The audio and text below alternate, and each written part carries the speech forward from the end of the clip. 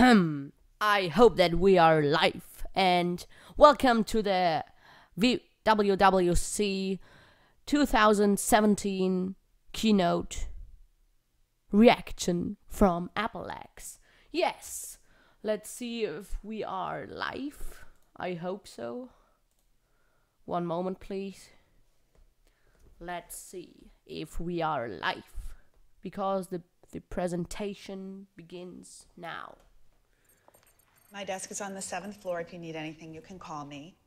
Make sure to keep your oh. ID with you because you're going to need to badge in every time you re-enter. Cafeteria is on the fourth floor, and we generally take lunch about 12:30. This is where I'm sitting? For now, yeah. With the big move coming up, it's kind of crazy around here. I promise it's only temporary. All right, thank you. Okay.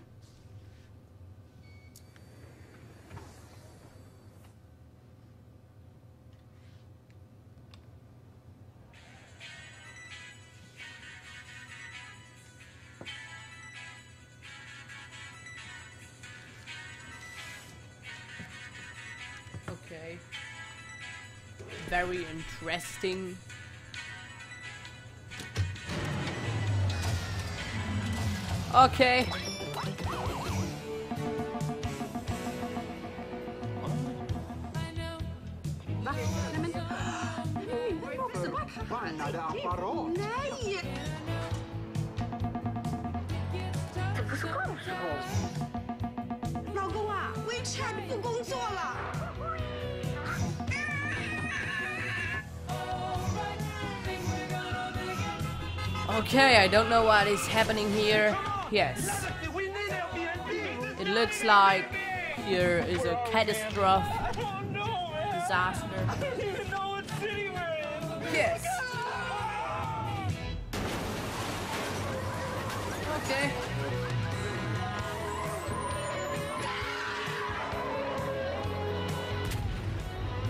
World leaders are declaring a global state of emergency until the app situation can be Oh, resolved. oh, oh.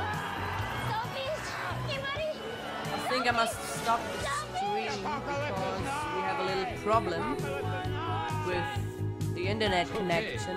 Who wants to go first?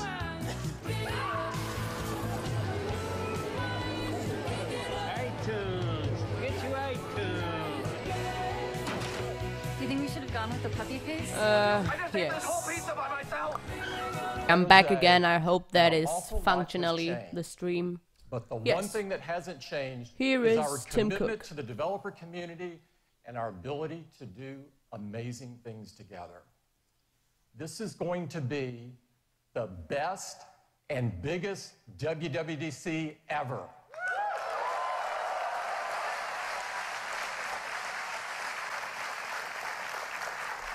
Every year, we host WWDC to bring Apple engineers and our amazing developers together on our collective mission. Okay, I really hope that it's functionally. And I'm pleased to tell you, the Apple developer community has never been more vibrant.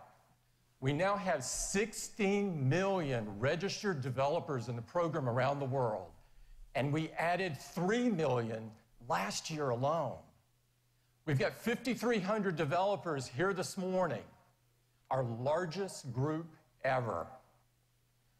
We have attendees this morning from 75 countries across the world. It's truly a worldwide conference. And we have the most student developers with us this morning ever. Okay. So Apple did.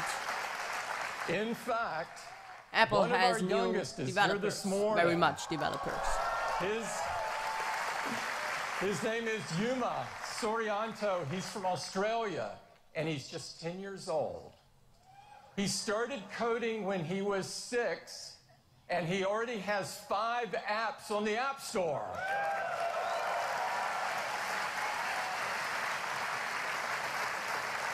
I met Yuma yesterday, and I can't wait to see what he's going to accomplish next. Okay. And while we've got some great up and coming developers like Yuma, we've got some that got a bit of a later start. Masako. Masako Wakamiya is just 82 years old, and she's from Japan, and she published her first app earlier this year. So, Okay, it looks like this. so if you haven't on published the left, yet, there left is still side time. is the youngest Let's give them a big round of applause. for apps in the world, and on the right side, the oldest. Yes. Now let's turn our attention to our four incredible platforms. Of course, oh, as Oh, you shit. know, each of them stem from the same core technology, but each is uniquely expressed and designed for the best experience for where they work.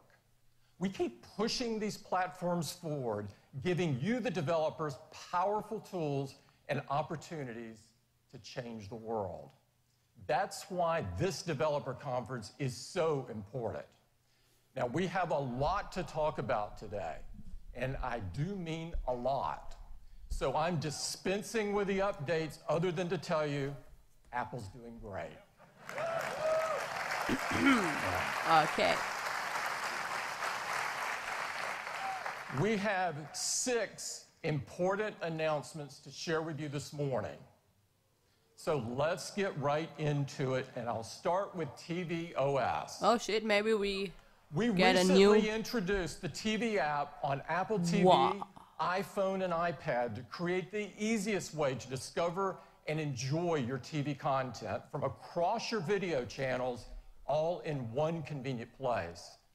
We launched it with support from just a handful of video channels, but now we have 50 partners integrated into the TV app.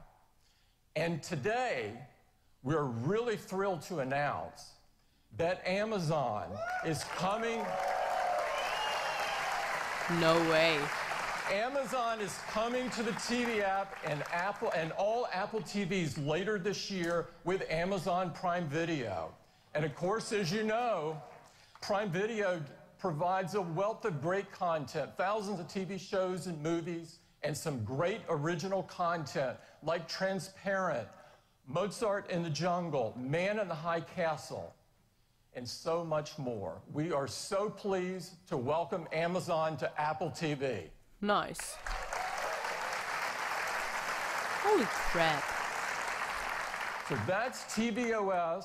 You'll be hearing a lot more about tvOS later this year. Number two, let's talk about Apple Watch. Maybe we get a new Apple, Apple, Watch has had incredible growth this past year. Would be very In nice. In fact, it's the number one selling smartwatch by far. And what's most important to us is that it's number one in customer satisfaction, again, by far. Apple Watch is designed to help you live a healthier life, and people are absolutely loving the fitness capabilities, the health capabilities, the quick access to information, and even the ability to swim with it. We've got some exciting updates to the Watch OS, and to take you through them, I'd like to invite Kevin Lynch up. Kevin? Thank you, Tim. So WatchOS is moving forward really quickly, and I'm very excited to introduce WatchOS 4 today. This furthers the areas that people love and also introduces new ways to make the watch more personal to you. Let's start with watch faces. Now, Apple Watch is great for quickly glancing at information, and many people are using a watch face like this today. And now you need to choose what information shows up here. So, for example, weather, calendar, and workouts, or maybe you'd like to look at the date and reminders and sunset. The information that you'd like to see actually varies based on time and your location and your routines. What if we could actually show you a selection of information that you might need automatically? Well, Siri is becoming more and more a proactive assistant, knowing what information you need when you need it. And we've created a new watch face which is powered by Siri intelligence. This is the new Siri watch face. Now, it automatically displays the information that's most relevant very- to you. And you can also access Siri just by tapping on the new complication on the Yes, top left Yes, looks good. and it automatically displays this information with the same type of intelligence we've applied on iOS. We're using machine learning to adapt automatically based on your routines and the apps that you use when you use them. So in the morning, I might see, for example, commute time and my first meeting. And if I rotate the crown, I can see more information from Siri. For example, reminders or even photo memories from this same time last mm. year or maybe from this location. And throughout the day, whenever you raise your wrist, the face will dynamically update with information for you. So, for example, at noon, I might see a reminder to make a call, and I might get a pass to a flight that I'm taking that afternoon. So, relevant passes in Wallet can appear here right in the face, including from third party apps. Now, at the end of the day, I might see what time the sun's going to set, and also I can get access to controls I tend to use in the Home app at night. So, this is an intelligent, proactive assistant right on your wrist, and this is the new Siri face on Apple Watch.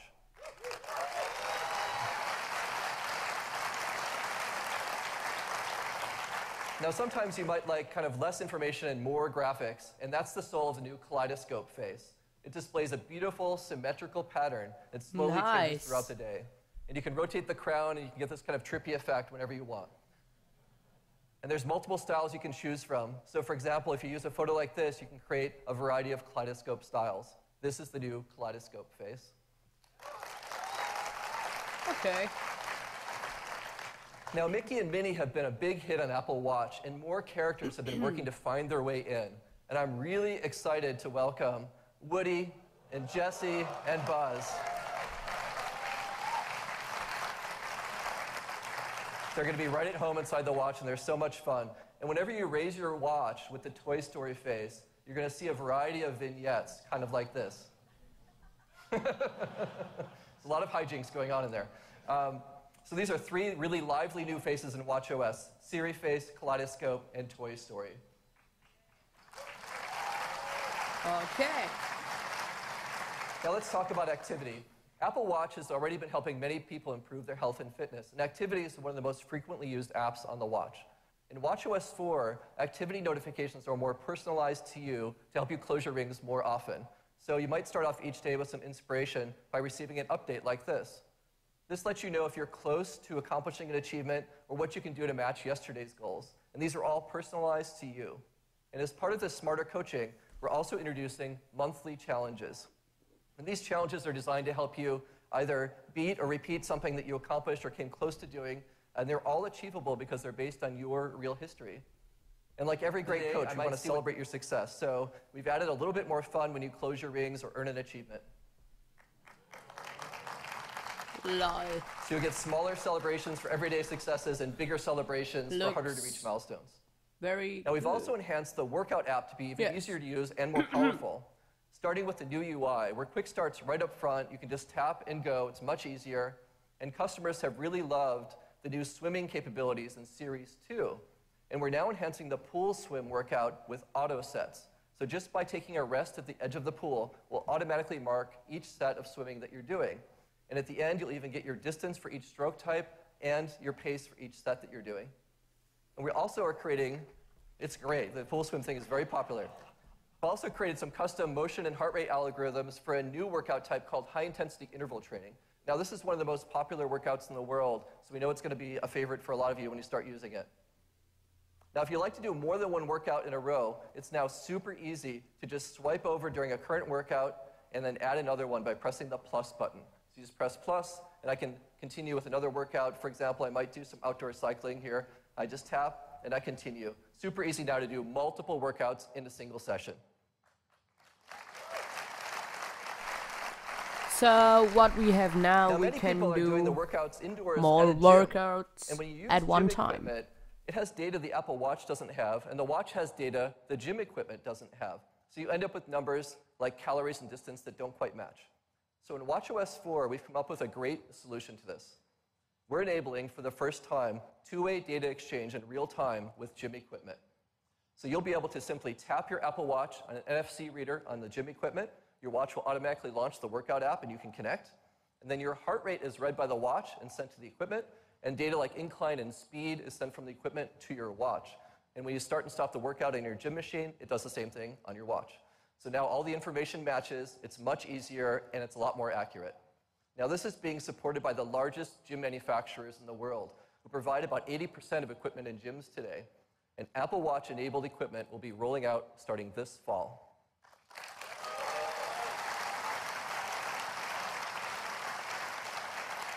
Now, let's talk about music.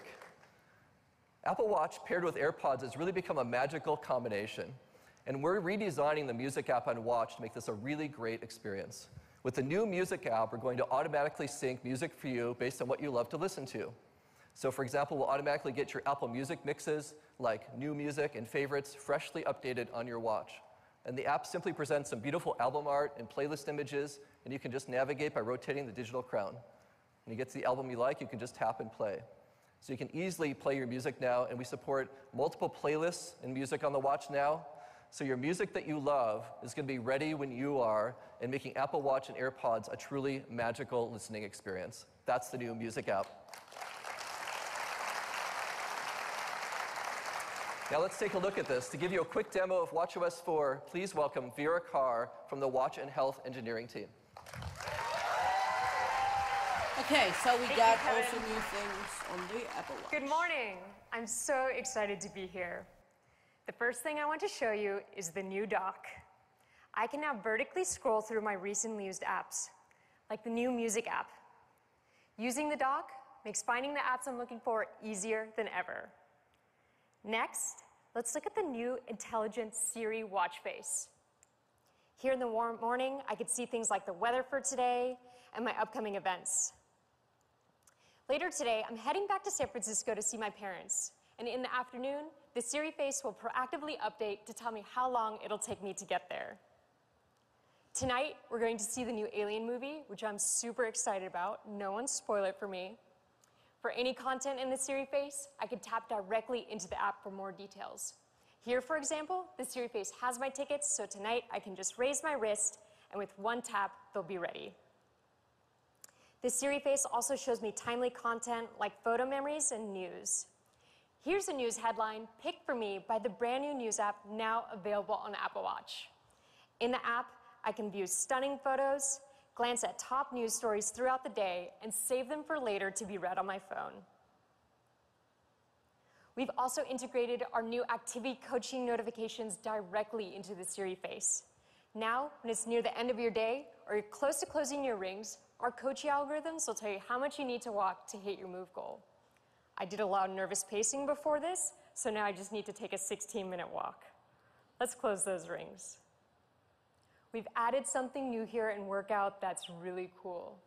Music instantly gets me motivated, and now in WatchOS 4, I can pick a playlist that automatically starts with my workout. Let's do it.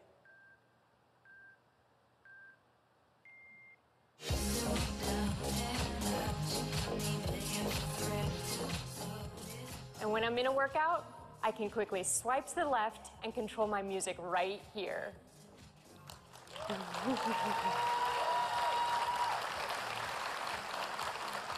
These are only a few of the new features in WatchOS 4. I can't wait for you to try it out. Back to Kevin to tell you more.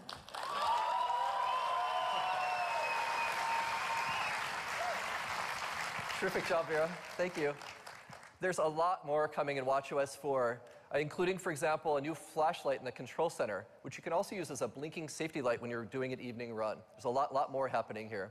Now, we of course have a number of updates that enable great apps by developers in WatchOS, including more support for apps running in the background, faster app responsiveness, and some new UI capabilities.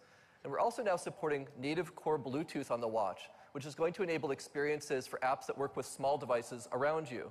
So, for example, continuous glucose monitoring directly from Dexcom sensor to your watch, or Zepp Tennis, which connects to a sensor on your racket for real time swing analysis when you're playing, or Zensor, which connects your watch to your surfboard so you can actually see the height of the waves you're doing and how many calories you're burning while you're still in the water. So, lots of new possibilities here for WatchOS. Developer preview is available today, so you can get going. And there's a free upgrade for everyone across all watches this fall. And that's just some of what's coming in WatchOS 4. Please welcome Tim back to the stage. Thank you. Thanks, Kevin. WatchOS 4 is a great update.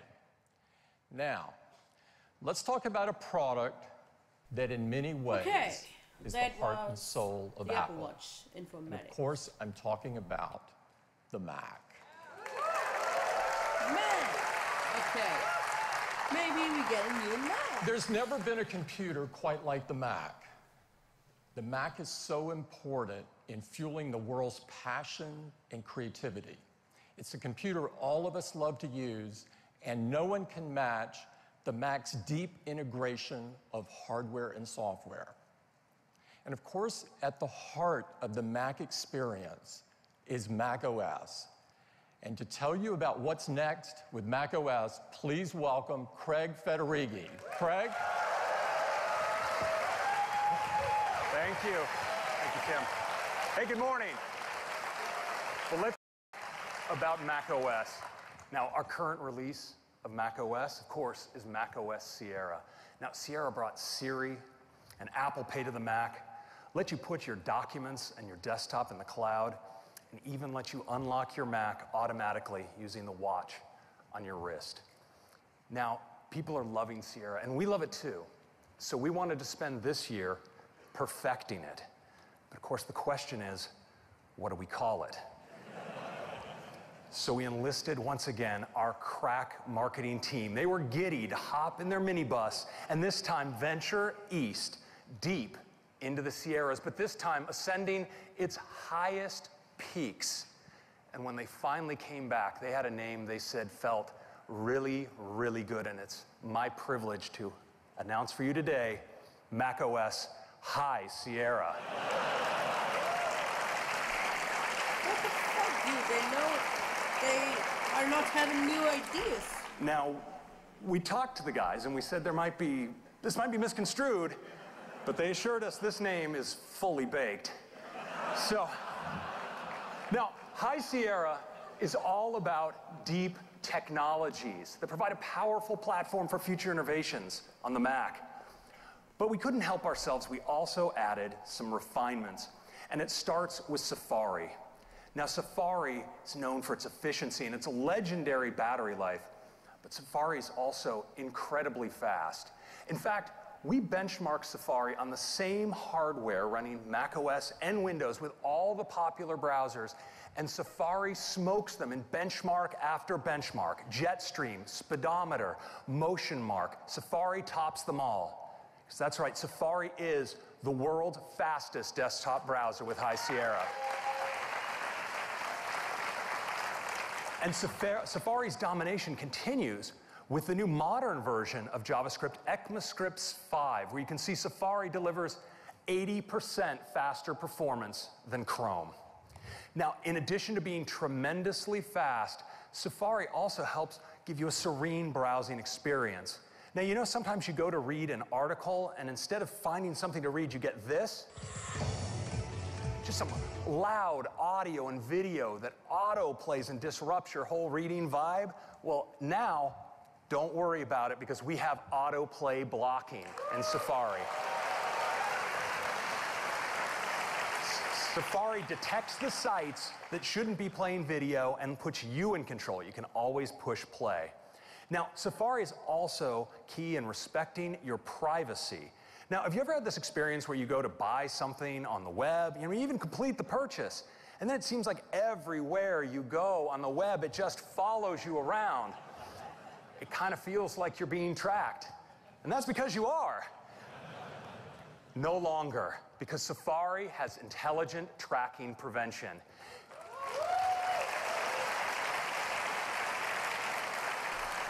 That's Safari uses machine nice. learning to identify trackers, So segregate the cross-site scripting data, put it away. So now your privacy, your browsing history is your Publicity. own. It's not about blocking ads. The web behaves as Yes. it always did, but your privacy and we is are we cannot more Next, I want to talk about some refinements located. to mail, and yes. it starts nice. with search. So, in addition to providing searches based on recency, Search in Mail is now using Spotlight to identify your top hits. So the message you're looking for is almost always right there at the top. And if you're into using Mail in full screen, well, now we support split view for your Compose window. It's a great way to compose Mail. And Mail is more efficient than ever. It actually uses 35% less disk space for storing your mail. Now, probably our biggest area of refinement in High Sierra is in Photos. Now, yeah, Photos has some great new organization and editing tools. There's a persistent sidebar, and a new view that has all your imports in chronological order. And in any view up here in the upper right, you can filter by your keywords, by uh, your favorites, by just media types like video. So it's really easy to get to just what you're looking for. We've also improved faces. It recognizes far more faces automatically using advanced convolutional neural networks. And when you put effort into categorizing and naming people, well, that's now synchronized automatically across all your devices.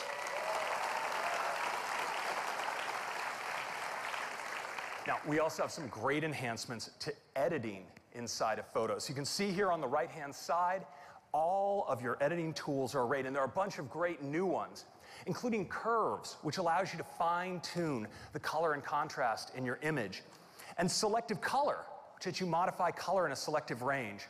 And I think you're going to like this one because if you like to do edits in a pro tool like Pixelmator or Photoshop, well, now when you punch out to that other editing tool, all of your edits automatically synchronize right back to your photo library. Now, Apple pioneered printed books on based on projects you construct right inside of the photo application. And now we're opening this up to third parties. They're going to offer some amazing new printing services, full framed uh, wall mounted uh, photos, and even publishing websites, all based on projects right inside of photos. So those are some quick refinements, but I want to return to the main story now, and that's technology, because we've gone deep on the fundamentals data, video, and graphics. And when it comes to data, the fundamentals are in the file system. Now, the Mac file system has its roots, actually, HFS, from 30 years ago. Well, a lot has changed since then. We have a lot of flash drives, our storage is a billion times larger, and it's time for a more modern file system. So I'm pleased to announce that we're bringing the Apple file system to Mac OS as our new default.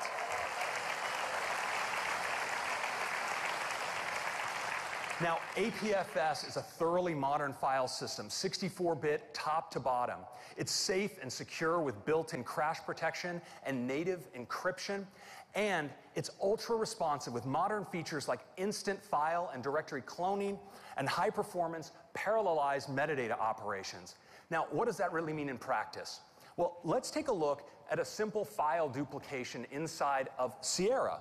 So we're going to go up to the File menu, select duplicate on these very large video files, and it's going to copy. And just like you'd expect, there's a lot of data to be copied here, so it takes a little while. Just about done.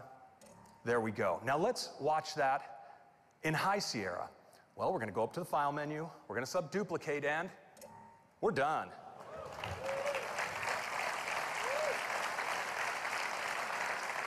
Next up, video.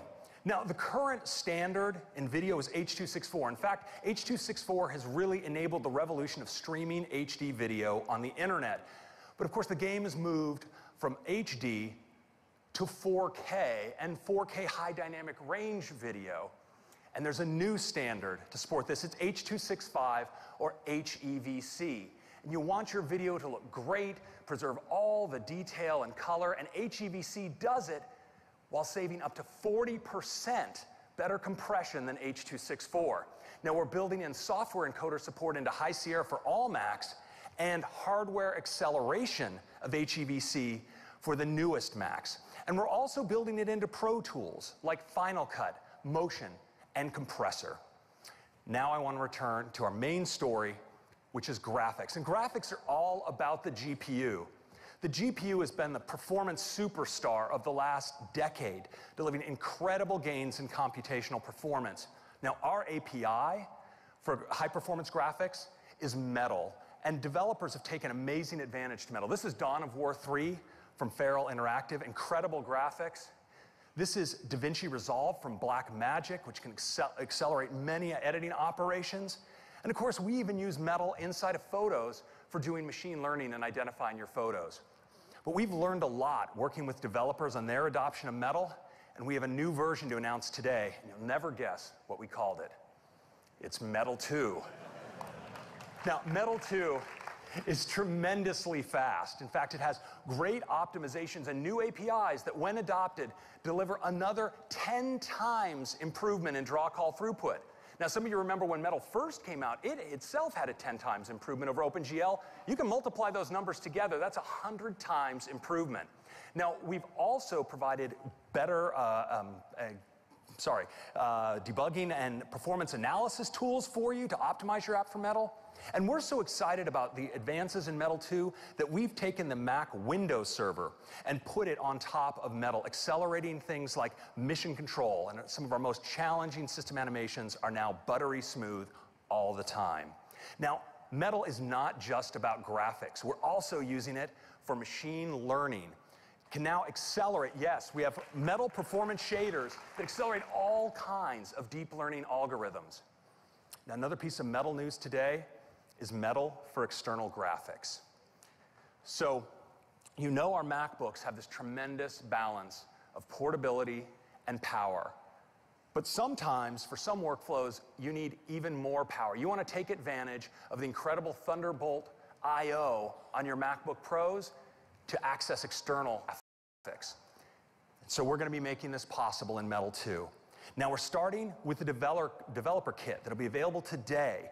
You can actually order a Thunderbolt 3 enclosure with a high performance AMD GPU and tune your apps for high performance external graphics. And then we'll be rolling out support to all of our customers in the months to come.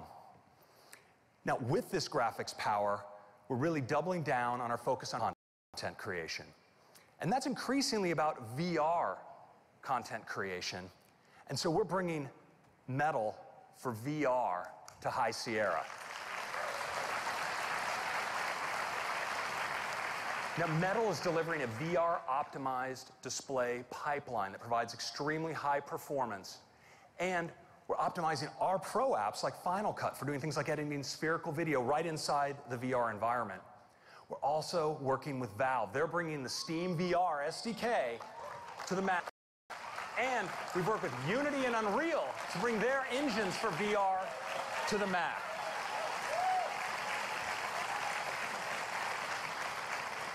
It's really cool, and you might just be seeing a little bit more from us later today on this topic. So that's a quick look at macOS. Some great technologies with the Apple file system, HEVC video, and incredible graphics with Metal 2, support for external graphics, and VR support on the Mac. And of course, a bunch of fantastic refinements.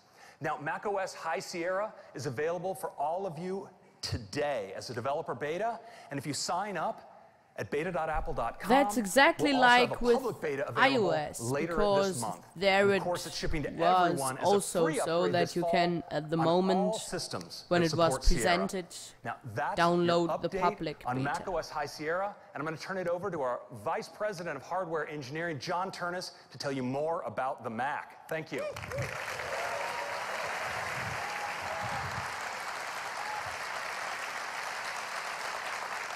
Thank you, Craig. So we have some great updates to talk about today that span much of the Mac product line. And let's begin with the iMac. Now, the iMac has been the gold standard of desktops for many years, but we're going to raise the bar once again. And as always on the iMac, it starts with the display. Because the 4K and 5K Retina iMac displays, with their high resolution, excellent brightness, and color gamut, are the best displays on any desktop but we're going to make them even better. So these new displays are now going to be 500 nits. That's 43% brighter than the previous generation. And for the first time, we're going to support 10-bit dithering, which means these displays can reproduce up to a billion colors. So your content is going to look more true to life than ever before. Now, in addition, we've got some great internal updates for these iMacs. So we'll start with the CPU, because the whole line is moving to Intel's seventh generation core processor also known as Kaby Lake. Now, Kaby Lake gets us better base and turbo frequencies for more performance, as well as hardware-based 10-bit HEVC decode, which is great for playing back high-quality video. In addition, these iMacs are getting a boost when it comes to memory capacity. So the 21.5-inch systems can now be configured with up to 32 gigs of memory, and the 27-inch can go all the way up to 64 gigabytes of memory. Both of those are twice what the previous generation could do. Now, fast storage has always been a key part of the iMac, and so we're going to now make our Fusion drive standard on all 27-inch configs. And it's also going to be standard on the high-end 21.5-inch config as well. In addition, our SSD options are going to be up to 50% faster and now available up to 2 terabytes. And the iMacs are getting an I.O. upgrade as well, because we're giving them two USB-C connectors which support Thunderbolt 3. And we think our customers, especially our pro users, are really going to love this, because you can do some cool things, like hook up a high-performance RAID array and an external 5K display at the same time. So now let's talk about graphics. And as you heard earlier, we're investing heavily in graphics software technologies like Metal 2. Well, we're also investing in graphics hardware. And every configuration in this new iMac line is going to get a big bump in its graphics performance. So we'll start with the entry-level iMac. Now this system gets a boost in its integrated GPU by way of Intel's Iris Plus graphics, which now has 64 megabytes of EDRAM. And the performance that we're getting out of this is pretty amazing, because this system is up to 80% faster in graphics than the previous generation. Now next up is the 21.5-inch iMac with Retina 4K display. And the big news here is that we're going to be moving to discrete graphics and making it standard on all 4K iMacs. And that's going to come, there you go, and that's going to come in this Radeon Pro Series GPUs with up to 4 gigabytes of VRAM. And again, this move to discrete graphics yields a pretty spectacular performance increase, because this new system is up to three times faster than the previous generation for graphics. Now lastly, we have our 27-inch iMac, and this is our most popular desktop for our pro customers. So obviously, it's going to get a bump in graphics today as well. So it's going to have these Radeon Pro 500 series GPUs with up to 8 gigabytes of VRAM. And again, we get a great performance uplift. In fact, this 27-inch iMac can now deliver up to 5.5 teraflops of graphics compute, which makes it a great platform for VR content creation. In fact, we've seeded some developers with this new iMac and High Sierra so that we could see what they can do with virtual reality on the Mac. And I'm really excited that we can give you a demo of some of this amazing work right now. So I'd like to invite up on the stage here from Industrial Light and Magic is Academy Award winning visual effects artist and chief creative officer, John Knoll. John? Thank you, John. At Lucasfilm's ILMxLAB, story concept design and technical development are all intertwined. They come together for us to create immersive experiences for people to enjoy at home, in cinemas, and at theme parks. Now, I've always done my art and development on a Mac, so I'm really excited about these new iMacs. I truly love the platform, so I'm especially, uh, especially excited to be able to share some of our VR content created on these new iMacs in Epic's Unreal Engine. I'm joined by Lauren Ridge, an Epic programmer, who will be backstage driving our demo. Uh, we, working together, we can work in real time uh, to create an immersive experience as we step inside the Star Wars universe. Now, Lauren's backstage so we can show you the environment around her. And now, we're going to show you from my perspective. Here we are on the planet Mustafar. Thanks to the native VR support in macOS High Sierra, I can use Unreal Engine's editor to create content inside the VR experience. And for the first time, it's all powered by my Mac. On my left motion controller, I have my radial menu, which acts as my artist palette. And on the right, I have the laser I use to interact with the world. I have some fire here, so let's try that out. All right, very nice. Uh, let's do some set dressing. What do you have? Let's see, let me open my content browser. It has all the assets I need to dress my scene. I think I saw a good landing spot for an Imperial shuttle over here, so let's bring one of those in. We've actually set up these smart assets so they know exactly where to come in for their landing. Great, all right. Uh, can we go wide? Sure, I can grab onto it with two hands and scale myself up. I can also use this to rotate the world around me. Oh, very cool. I have a TIE fighter here too, so let's bring one of those in. Thanks to more than five and a half teraflops of GPU performance, manipulating objects is super smooth and really intuitive. Great, all right, can we have a squadron of those flying overhead? Okay, what about from over there on the horizon to over there by the castle? Great, perfect, okay. All right, let me teleport back down. Oh, hey, seeing the castle back there reminds me we're missing one important element. Right. How could I forget? All right. Nice. Well, it looks really good silhouetted against the sky back there. Can we go in closer? Sure thing. It's really cool how Metal 2 unlocks Unreal's advanced rendering feature set on the Mac. Wow, yeah, really nice. All right, uh, let's play this scene from here. Okay.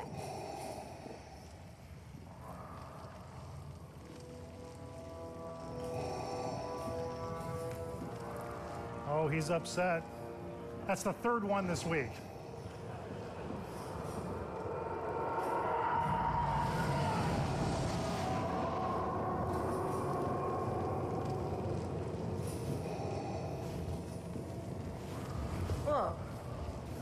I'm glad he didn't see me there. Hmm. Wouldn't be so sure about that.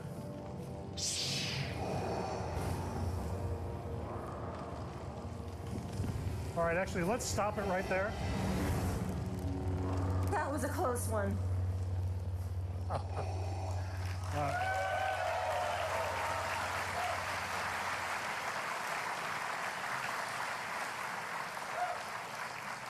well, it's, it's really nice to see an iMac rendering this level of graphics in VR mode at a smooth 90 frames a second.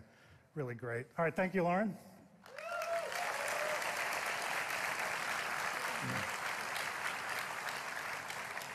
Metal 2 and Unreal's, uh, our Epic's Unreal Engine will enable the next generation of storytellers. We use this technology in our filmmaking every day for virtual set scouting, for art direction, and shot design. And that means that this immersive content can be made by the same people that bring you the films. That's incredibly powerful. At Lucasfilm and ILMxLAB, we're looking forward to using our Macs to create new experiences as we invite people everywhere to step inside our stories. Thank you. All right, thank you.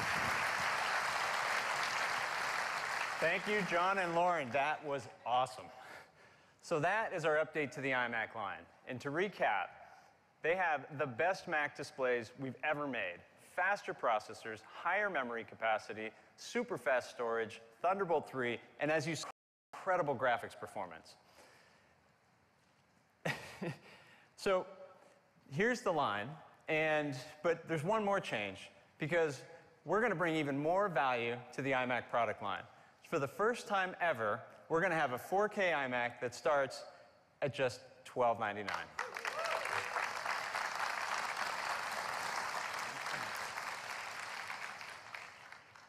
But the updates don't stop with just the iMac, because we're refreshing our notebooks today as well. And together, the MacBook and MacBook Pro make up the strongest line of notebooks we've ever had. But we're going to make them even better, because we're moving to Kaby Lake here as well. And we're bringing faster SSDs to our MacBook and faster standard graphics to the 15-inch MacBook Pro. So a great performance bump across the board. So here's that lineup, but just like the iMac, we're going to bring more value here as well because we're going to have a new configuration of the 13-inch MacBook Pro that also starts at just $1299.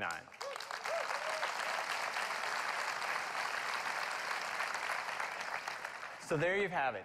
We've updated seven of our most popular Macs, and the MacBook Air is going to get a bump in, mega, in megahertz as well.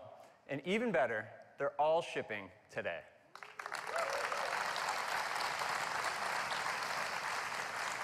Now, we care deeply about the environment, and so as with all our products, we've been working really hard to ensure that these new Macs are free of harmful chemicals, very energy efficient, and highly recyclable.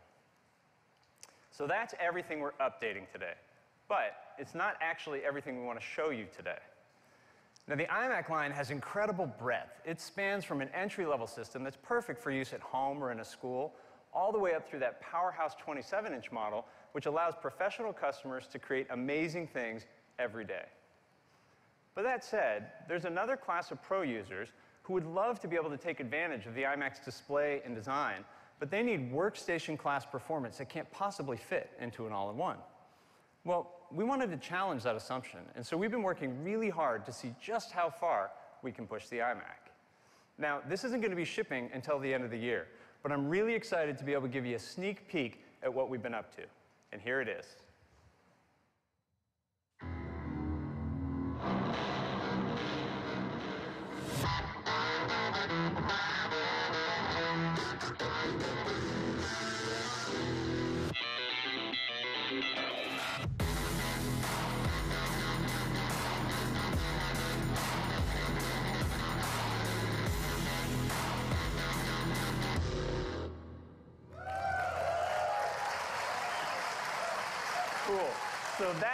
Is the new iMac Pro. Now, the first thing you'll notice, it features the same great design as our 27-inch iMac, but it's in this seriously badass space No freaking finish. way. We will get with a new iMac. New color nice. gorgeous 5K iMac display. This Pro. is without a doubt the most Okay. beautiful iMac we've ever made. But it's also going Very to nice. be by far the most powerful iMac we've ever made. In fact, this will be the most powerful Mac we've ever made. Because because we actually are going to put workstation class performance into our incredible 5K iMac design. Now, to do that, the team had to completely rethink the thermal architecture. And they came up with this really efficient dual centrifugal fan solution, which generates significantly more airflow than a traditional iMac. Interesting. In fact, the iMac Pro has a greater than 80% increase in cooling capacity. So that means we can deliver unbelievable performance while still maintaining the quiet operation you'd expect from an iMac. So let's talk about what's inside, and I want to start with the CPU because we wanted to go really big here. So the iMac Pro is going to ship with an 8-core Xeon processor. What? But it's also going to ship with a 10-core Xeon processor. No freaking way. And then we thought, you know, we've gone this far, let's get really nutty. So we're going to offer it with up to 18 cores. What? What the fuck? That is a ton of compute power. 18 but we didn't want to stop there because we wanted to go really big on graphics as well. So the iMac Pro is going to use AMD's Radeon Vega graphics. This is their brand new workstation class graphics architecture. It features a completely new GPU core and high bandwidth on package memory. No way. It's going to be av- available with up to 16 gigabytes of VRAM and over 400 gigabytes per second of memory bandwidth. And we aren't going to use an entry level configuration here because our implementation is going to offer up to 11 teraflops of single precision compute power. That's three times more than the best GPU in a Mac Pro. But it actually gets even better because this Radeon Vega GPU can also do half precision compute. No So that means way. the iMac Pro can deliver up to 22 teraflops of half precision computation. This is a really big deal for things like machine learning development. So the iMac Pro, as you can see, is going to be a monster when it comes to graphics, but we didn't want to stop there either. So we're going to let you configure it with up to 128 gigabytes of ECC Oh, memory. That's twice what you can do in a standard 27-inch iMac. Oh fuck. And up to four terabytes of three gigabyte per second SSD. Woo. Now, the iMac Pro is also going to have a full complement of high performance I/O, including four Thunderbolt 3 ports, and for the first time ever in any Mac, built-in 10 gigabit Ethernet.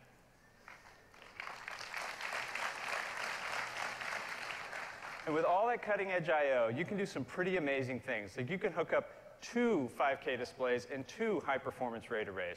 No iMac before could ever do that. And when you combine that with the internal display, that means the iMac Pro can hope drive up to are 44 joking. million pixels. There's so much more we don't even have time to get into. Things like a 1080p FaceTime camera, a user configurable VESA mount option, uh, two times wider AVX instructions, and even a UHS-2 SD card slot. So with all these high performance technologies and our incredible 5K display, this iMac Pro is going to be an awesome workstation for things like real-time 3D rendering, high frame rate immersive VR, machine learning development, and with all those cores and all that memory, super fast code compiling. Now, speaking of workstations, we wanted to compare the starting configuration of the iMac Pro to what's on the market. And so if you were to go out and build a comparably spec system today, it would cost over $7,000. And keep in mind, that's a system that doesn't have our best-in-class 5K display, doesn't have the iMac Pro's incredible all-in-one design, and it obviously doesn't run Mac OS. Well, this is the starting configuration of the iMac Pro, and we're going to price it at just $49.99.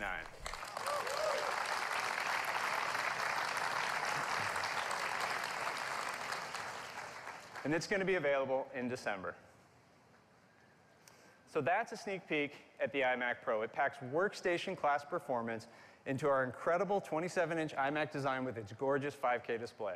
And it is going to be the most powerful Mac we have ever made. So that is all of our Mac news today. Now back to Tim.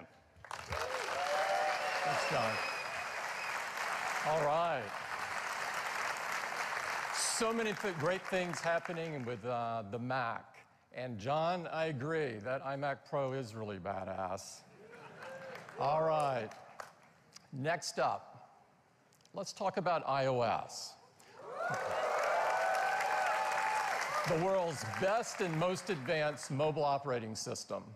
Our customers love the latest version, iOS 10, which has an industry leading 96% customer satisfaction. And it's absolutely incredible that 86% of our customers are running iOS 10 and taking advantages of its capabilities. This blows away the other platforms that suffer from horrible fragmentation. With, with iOS, developers can always target the latest capabilities That's and over 10 features of times our good, latest operating system and be confident that there's customers there for them. Now, today,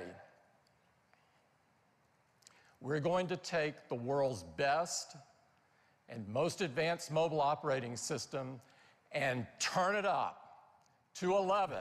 iOS 11. Okay. And I'd like to invite Craig back to take you through it. Craig. Thank you, Tim. Hello again. Let's talk about iOS 11. It's a big one. Now, we have a big focus on technologies in iOS 11, but also some really big features. We have a lot to talk about. We're going to start No way. with messages. Now, you all know in iOS 10, we added iMessage, s- apps, and stickers. People have had a lot of fun with these. And now in iOS 11, we're making them more discoverable than ever with this redesigned app drawer. You can see you have your apps accessible right there at the bottom of the screen with just a tap. You can bring them up, scroll through them, and tap into any app. It's really easy. It's going to make it a lot of fun for you to use your apps and stickers. Now, the big story with messages, though, is messages in iCloud. Because now, with your iMessages in iCloud, when you sign in to another new device, well, all of your conversations are automatically synchronized. Also very nice. And in fact, they stay in sync. So if you want to delete an embarrassing message that you don't want in your transcript, well, it goes away everywhere, which is kind of nice. So this, of course, is, allows us to optimize your device storage because with your messages in the cloud, we only need to keep your most recent messages cached on the device. And so that makes for smaller and faster backups. Now, this is available for iOS and the Mac. And of course, your messages remain end-to-end encrypted. Next, Apple Pay. So we love using Apple Pay to buy things at retail. In fact, Apple Pay is the number one contactless, contactless payment service on mobile devices. And by the end of the year, it'll be available in more than 50% of retailers here in the US. Yeah. But in addition to paying at retail, we use Apple Pay in apps, we use it in the web. And there was one final frontier we wanted to conquer, and that's Apple Pay for person to person payments.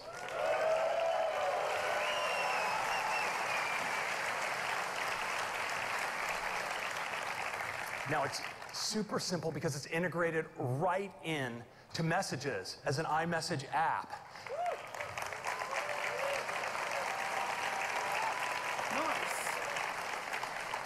So you can send and receive money right in your transcript. And of course, when you send it, you authenticate securely with Touch ID. And if you receive money uh, with iMessage, it goes into your Apple Pay cash card. And from there, well, you can send it on to friends and family if you're charitable. You can make Apple Pay purchases at retail or uh, on the web. And of course, you can pull it out and transfer it to your bank. And it's available across all these iOS devices and Apple Watch too. Thank you. Siri. So next, let's turn to Siri. Now, Siri is used monthly for more than 375 million devices. It's absolutely huge. And it's available in more languages and more countries than any other assistant, 21 languages in 36 countries. So for iOS 11, we're making a big upgrade to your primary interface in dealing with Siri, and that's Siri's voice. We've used deep learning now to create a really natural and expressive voice for Siri, and I'd like you to hear it. Here's the forecast for the next 10 days sunny, sunny, and sunny. Three different ways to say sunny. Very powerful. Now, Siri also has a male voice, and it sounds fantastic too. I love machine learning, especially since I'm a machine learning. So Siri has a great new visual interface also very as well. And it's able to provide you with follow-up questions and answers with just a tap and multiple results. When you make a query, it's really handy. Now, Siri also has a new capability, which is translation. So you can now ask something like, how do you say, what are the most popular dishes in your restaurant in Chinese? And Siri can say, 你们餐厅有哪些菜最受欢迎？ totally.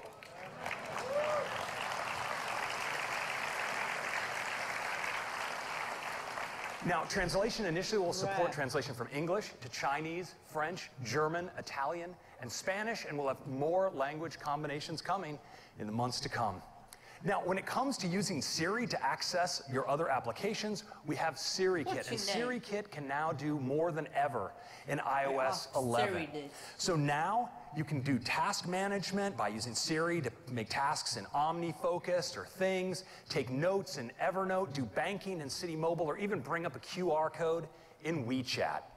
Now, Siri isn't just a voice assistant because with Siri Intelligence, Siri not only understands your voice, it understands the context, it understands your interests, it understands how you use your device, and this allows it to ultimately understand what you want next. Now, we've all experienced this where Siri can help us predict what apps we might want to use next, give us a time to leave notification based on our calendar and where we are, help us respond to a text message. In iOS 11, Siri uses on device learning to understand more about topics of interest to us. So it can actually suggest topics we might be interested in learning about in news, can help us respond with our location for getting to an appointment to someone in messages, and even help us make a calendar appointment based on something we've just booked inside of Safari on the web. And what Siri learns about you on device is now kept synced across all of your devices. So you're dealing with one Siri, but of course, this is kept completely private, readable End only by you and your devices. And crouch. Camera. Next, let's talk about the camera. People love the fantastic cameras in the iPhone 7 and 7 Plus. And in fact, our customers now take a trillion photos per year. It's absolutely amazing. And they take a lot of video too. And today, they do it in H.264. But now, with our latest iPhones and iOS 7, they get, we're using HEVC, which is giving us up to two times better compression for camera captured videos, which means less storage space used on your device and less space used in the cloud. And we're applying these same techniques to replace JPEG capture with what we call HEIF, high efficiency image format. It's based on HEVC and it also provides awesome quality images at half the size on your That's device. good.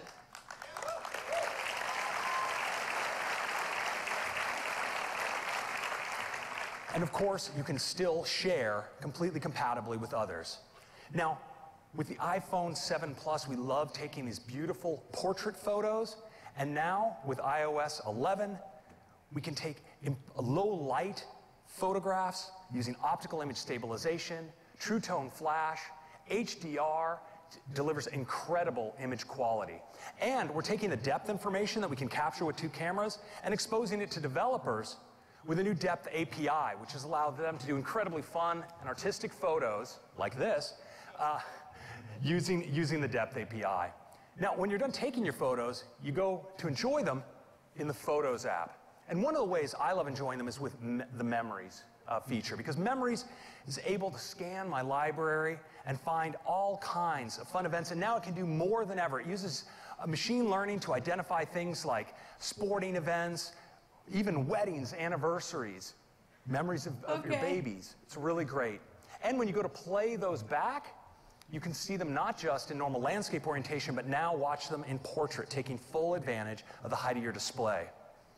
Now, when it comes to live photos, we have some great enhancements as well. So you can now trim your live photos, the video around the still. You can mark any part of the video as your key photo and so much more.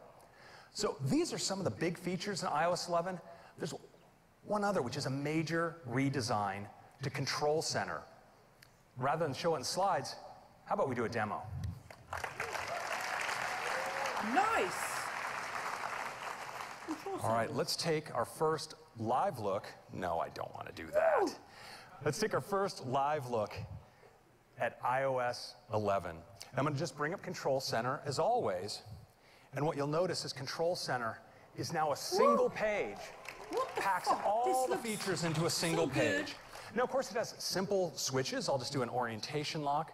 It's got a beautiful little animation there for the orientation lock.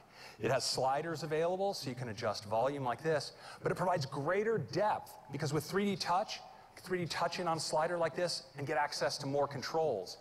And this allows us to pack lots of capabilities really easily into the design. So you see, we have our wireless controls. Well, I could just tap on airplane mode, but if I 3D touch on the platter, I get access to even more features. And this is really great with your music because you can operate them here or jump in for even more information. So it's a really great new control center, and I think you're really going to love it. Now, we've also taken this opportunity to redesign lock screen and notification center by making them one. So now, when I'm on my lock screen, if I unlock the device, just like that, uh, I can actually now swipe back down. I'm actually on my lock screen seeing those notifications, but I can get at all my other notifications just by scrolling up like that. It's a really great unification, and you still have access, of course, to your widgets on the left and your camera on the right. Now, let's take a look at photos.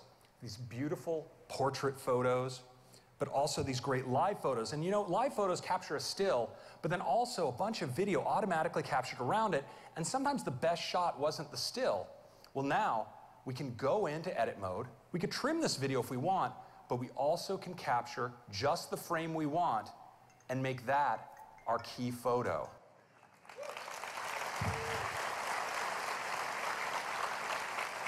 Now, we can do other really fun things with live photos.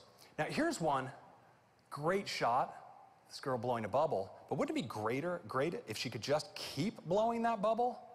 Well, now she can. We actually use computer vision to compute a seamless loop around this live photo. It's really fun. And we have another great effect. So here's a fun jump in the pool. But wouldn't it be better if it bounced? There it is. Now, we can really do some artistic things with live photos as well. So you see, this is a, sh a shot where we have still landscape, but then this movement in the water. Woo. Now, if you wanted to capture this kind of motion, traditionally you'd have to get a tripod and figure out how to configure a long exposure on your high-end camera.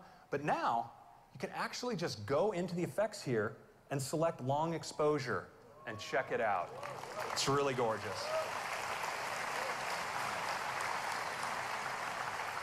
Now, let's take a quick look at memories because you see, memories can now capture things like activities, like scuba diving, can spot your anniversaries, these really touching uh, memories of your children growing up, and most importantly, your pets. Let's play a movie about you know, th these pets. And what we'll see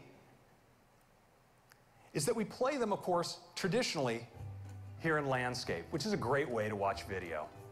And of course, Memories is using computer vision to actually identify photos of your pet and pick the best scenes. Now what's great is I can also rotate my phone now into portrait and it automatically reformats to take full advantage of the height of the display.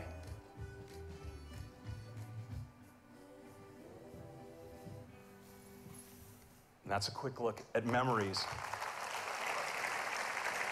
Oh shit, that wasn't Now, with memories, we're using machine learning to help learn more about you and what you're interested in by looking at your photo library. But now in iOS 11, Siri does so much more in learning how you're using your device.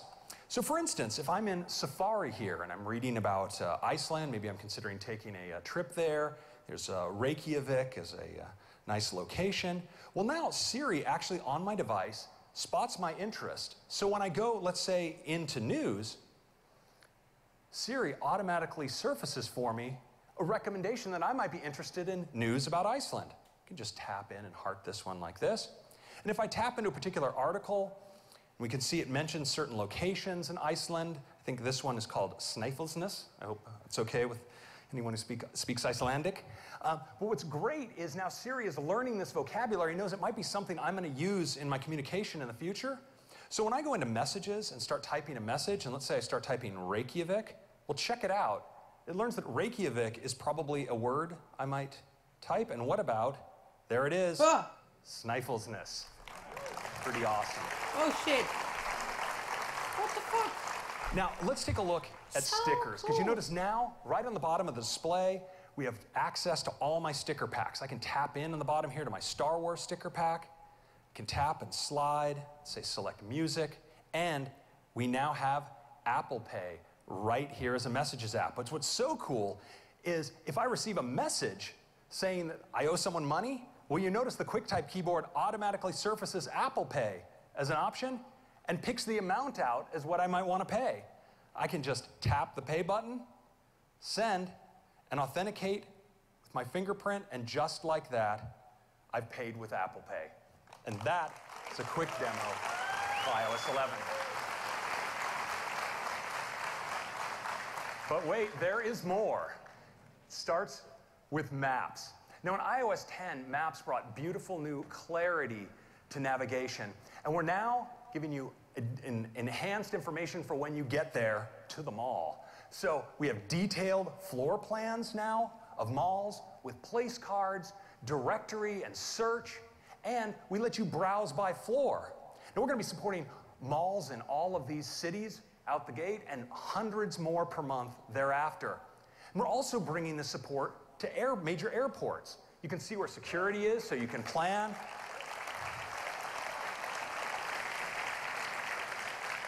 Now, we'll be supporting all of these airports to start and again, building out more over time.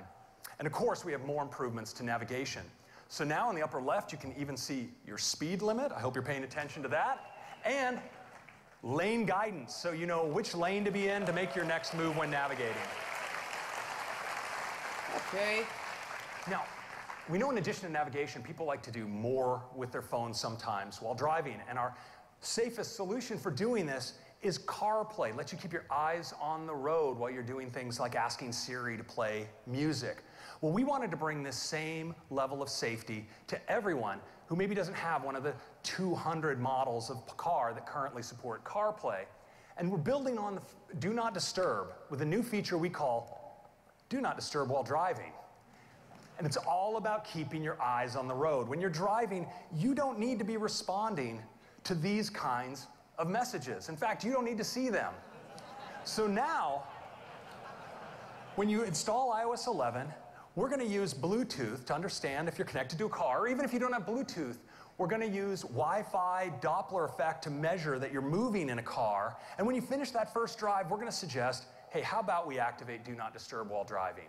And when we do, instead of seeing all those notifications, we have this new user interface for you.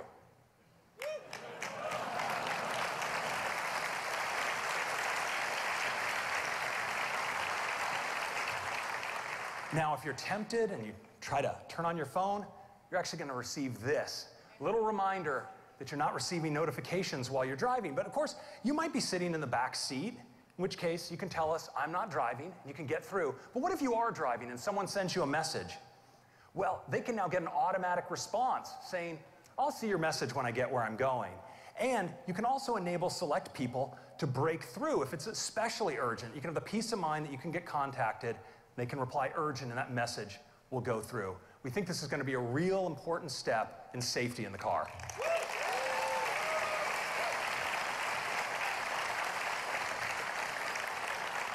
Next up, HomeKit. So HomeKit provides a secure and private way to automate all of your devices, uh, your home accessories, And you can do it right inside the Home app and control them here. And also, of course, use your voice with Siri. Now, almost all the major accessory makers are providing great HomeKit accessories across all of these categories, from security cameras and door locks to lights and fans. But there's one category really close to our heart that we wanted to add to HomeKit, and that's speakers. So, you'll now be able to configure your Speakers, speakers okay. inside of HomeKit and access them via our new AirPlay 2 protocol. It builds multi-room audio in throughout iOS.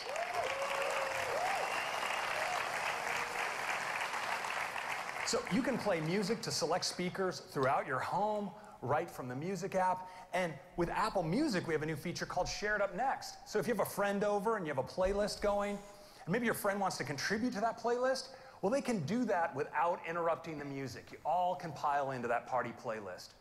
Now, the, all these speaker makers have announced upcoming support for AirPlay 2, but of course, many of us already own a great AirPlay 2 compatible speaker, and those are the ones connected to our Apple TV. Because now your Apple TV can be played to from your uh, iPhone or iOS device and Mac anywhere in the home. And of course, if you turn on your Apple TV, it can control playback home wide including using Siri. And we're providing a great developer API so third party audio apps in iOS can all get in on the multi room audio fun. Next is Apple Music. Now, last fall, we, we introduced an all new design for Apple Music, which brought greater clarity and simplicity to the Apple Music experience. We now have 27 million customers who are really enjoying the curation as well as the personalization of Apple Music. But of course, a lot of the way we discover music is to ask one of our friends, What have you been listening to lately?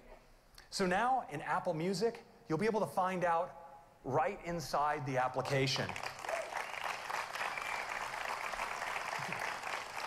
For all the music served up, and for you, you'll see indicators if this is music your friends are listening to, and they can configure their profile uh, either to be public or private and control what playlists they share or whether all the music they share they want to make available to their other friends. Now, for developers, we're also providing a new API, MusicKit, for Apple Music.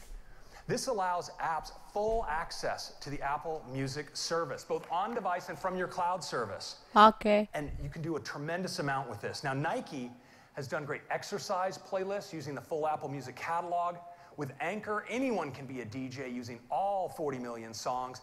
And Shazam can automatically add songs to your collection that it identifies. But you know, one of the biggest stories today for iOS 11 is about the App Store. Now, to give you the big news with the App Store, I'd like to hand it off to Phil Schiller. Thank you.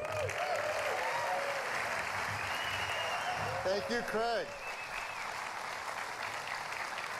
Well, good morning, everyone. Let's hear it from the way back of the room. Come on, good morning, everyone. Yes. I am so excited to be able to talk to you this morning about the App Store. The App Store is turning nine years old, and it is going so well. There are 500 million weekly visitors to the App Store who come to see your amazing apps and to download them. They have now downloaded over 180 billion apps to date. That's incredible. That, that does not include auto re-downloads and updates. Amazing. And just recently we passed $70 billion paid out to developers today. Yes. 30% of that in the last year alone. The apps are incredible, and customers are doing things with them that none of us had ever imagined, like this. These are people in Hong Kong playing Pokemon Go. Hong Kong needs this. Pokemon Go is from Niantic. It was one of the big hits from last year, and there have been a lot of big hits last year from big developers and indie developers alike. And together, the developers at Apple, we've made this the best app platform in the world. So thank you. Yes. Thank you for the incredible apps you make that we and our customers all love. It's not by chance that the App Store has become such a great place. From the beginning, we've had two very important goals to make the App Store a trusted and safe place for users, and to make it a great opportunity for all developers. We continue to work really hard at that. Over the last year, the team's done a lot of great things to make the App Store an even better store for all of us. There's many things we can talk about, but I think one stands head and shoulders above the rest, faster app review times. Yeah. I'm sure you're well aware that the majority of apps are all now reviewed in under 24 hours, many in just one to two hours. The team is going to keep working hard at that. And we have a lot more coming for the remainder of the year. I've highlighted a bunch of things here. I'll just point out one of them.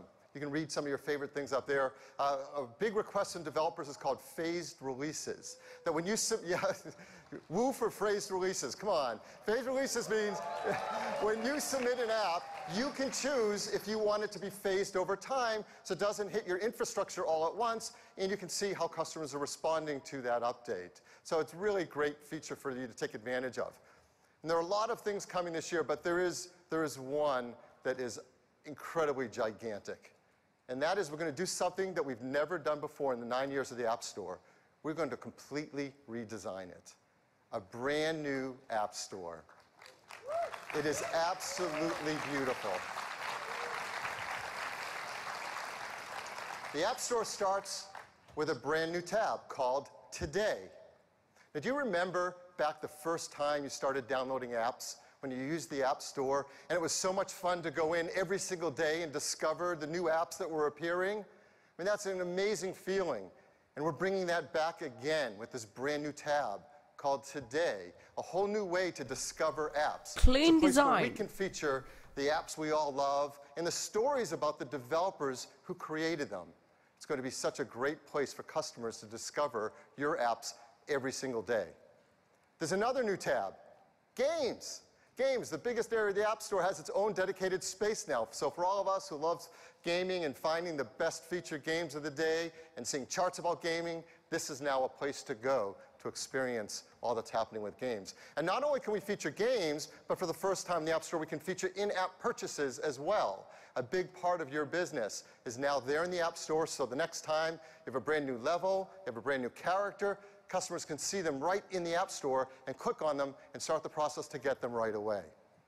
And since games have their own tab, now apps have their own tab. This is everything that we love about apps besides games with dedicated features and charts all there for customers to enjoy.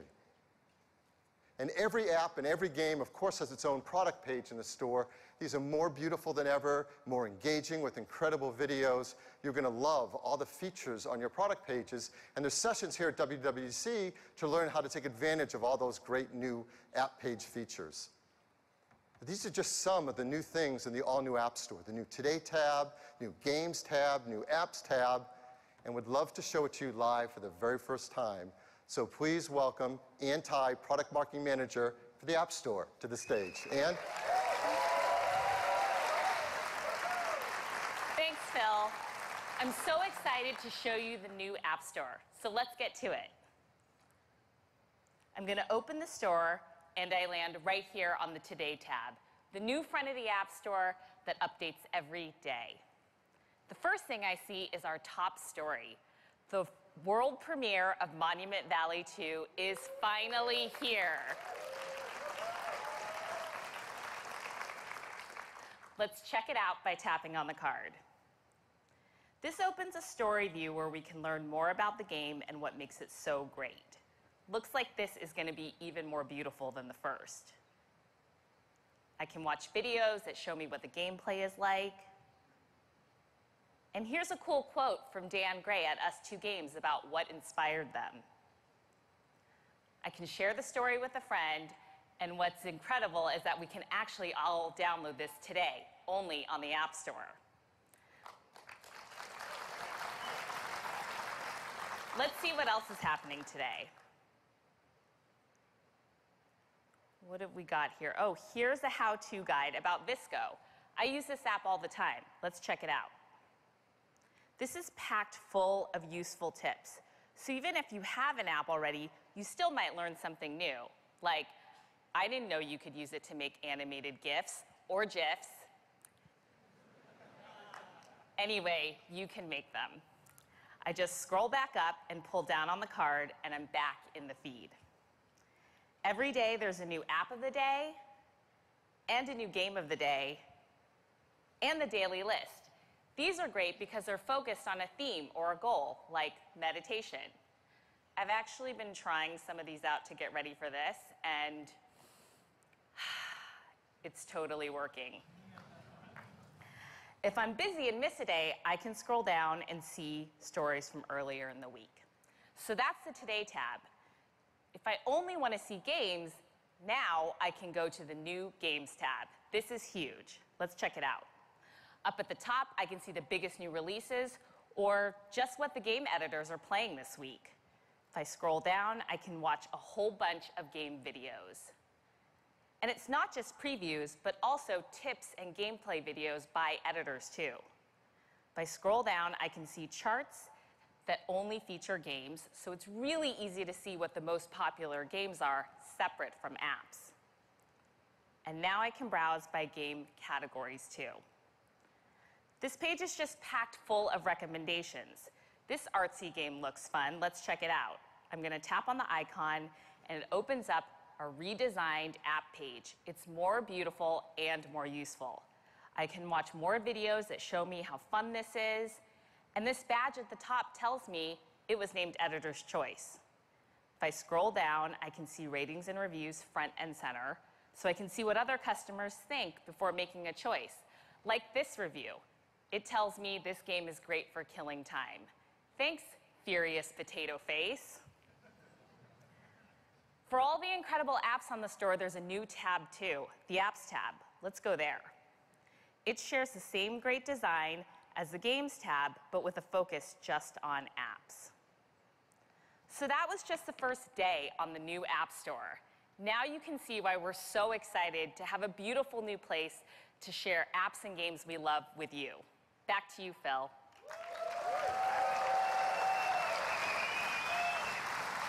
Thank you, Ann. So that's your first glimpse of an entirely new app store. We hope you love it. We hope customers love it. They visit it every single day to download your incredible apps.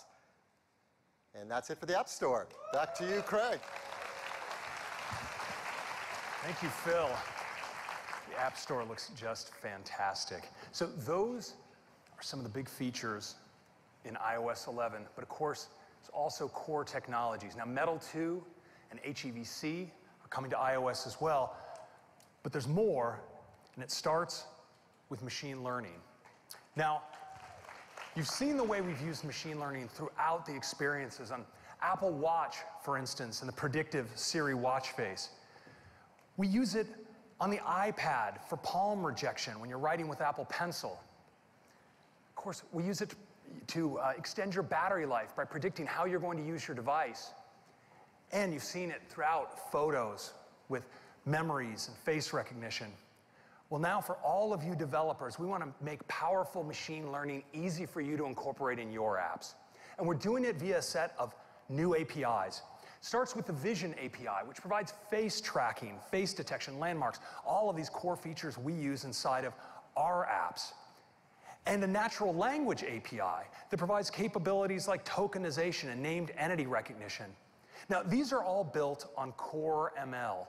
And Core ML provides high performance implementations of deep neural networks, recurrent neural networks, convolutional neural networks, support vector machines, and they allow you to take models that you've built with any of these popular third party tools and using our machine learning model converter, execute them with tremendous performance on device. That gives you all the data privacy benefits and all of the carefully tuned compatibility with all of our platforms.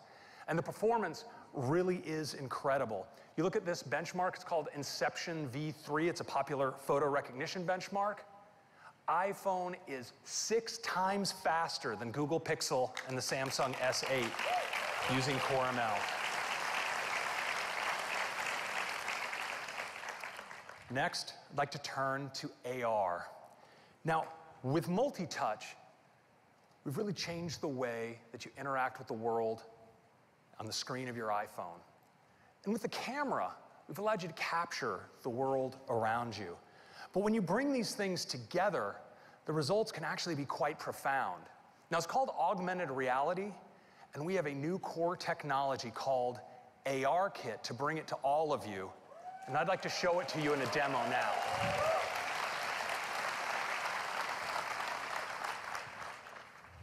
So, we've all seen a lot of carefully edited vision videos on this topic recently, but in this case, I'd like to show you something for real. So, what we see here is an iPhone that's look, using its camera, but using vi computer vision, it's actually able to identify surfaces, such as this table, and I can actually just add an object. This is a developer application, a test application that you'll all be getting code for that allows you to do these things. Now, this is just a virtual object on this table. Now, got some, some steam in there coming off the cup. Now, I can add other objects to the scene, and these things can actually interact. Let's add a lamp. And I want you to watch when I turn the lamp up on the dynamic shadows here. I'm going to move the cup and watch how the shadow moves in relationship to the light here. It's really pretty incredible. Now, I can add additional objects. Let's add a vase to this, uh, to this scene. I mean, isn't that just incredible? You guys are actually in the shot here with these objects all in augmented reality. So it gives you a little bit of an idea of the technology involved. It's really pretty incredible. Now, how do we do it? Well, ARKit provides fast and stable motion tracking, and it uses all of the sensors and the camera on your device to do this. It actually finds planes like floors and tables. It's able to estimate ambient light, which helps us with the rendering and also helps with scale. You notice that cup hit the table looking the size of a cup, not the size of an elephant. And we provide integration into all kinds of third-party frameworks to help you with your rendering. Now, the implementation is possible because we're able to take advantage of the awesome hardware in iOS devices, the cameras, the high performance CPU and GPU, and the motion sensors. And when you bring the software together with these devices, we actually have hundreds and of millions of iPhones and iPads that are going to be capable of AR. And in fact, that's going to make overnight ARKit the largest AR platform in the world.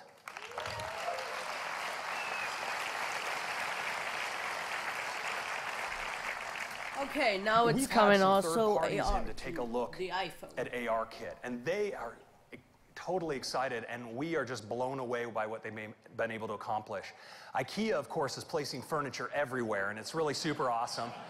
But check this out what you can do with Batman Lego. I mean, how fun is this? Right on the table, a Lego with a live Lego, Batman, and you can explode the uh, Lego like, like uh, you could never do in the real world, pan around it, and interact with Batman right there. It's really awesome.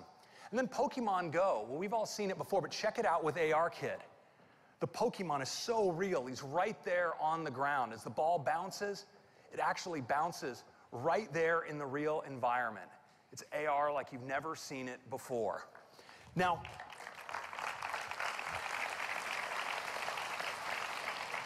there's, there's one of these uh, that I think you just really need to see, see live. Now, Wingnut AR is director Peter Jackson's new production company. It's dedicated to producing AR content.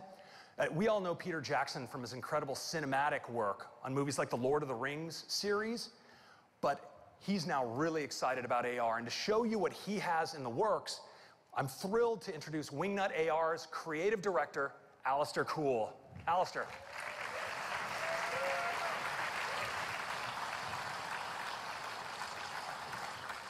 Thanks, Craig. We're really excited to share an exclusive sneak peek at something we've been working on. With ARKit, you don't need any special equipment or tracking markers, it just works. Dan's here with me from Wingnut AR, so let's take a look.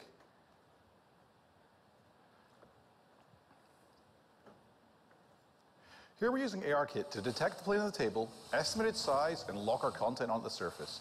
And since this is augmented reality, you folks are all in the shot too.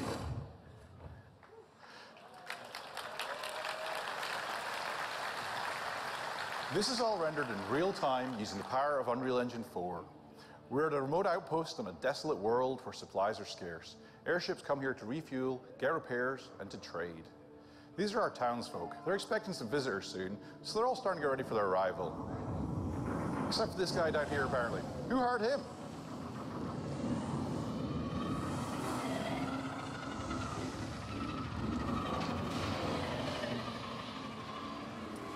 That's our airships arriving now. And what's really cool here is that with the ARKit's tracking, you can get in really close and choose how to view the action. It's like you're the director of your own experience.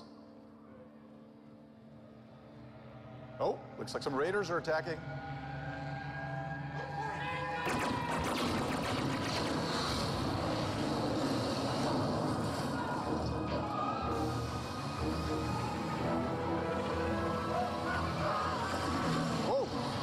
Guess that takes care of that guy.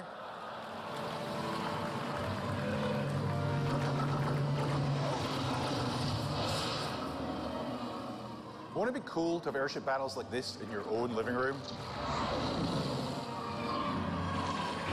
Oh, I think they're going to regret attacking this outpost. And another one down. And we got him. Eek. Well, that didn't end well for anyone. But our heroes are limping away to fight another day.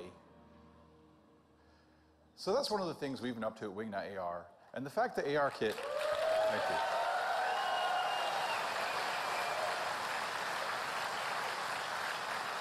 Thank you. The fact that ARKit enables hundreds of millions of people to enjoy experiences like this opens up so many possibilities. I think it's a real game changer. Look out for an AR experience from us in the App Store later this year. Thank you. So what do you think?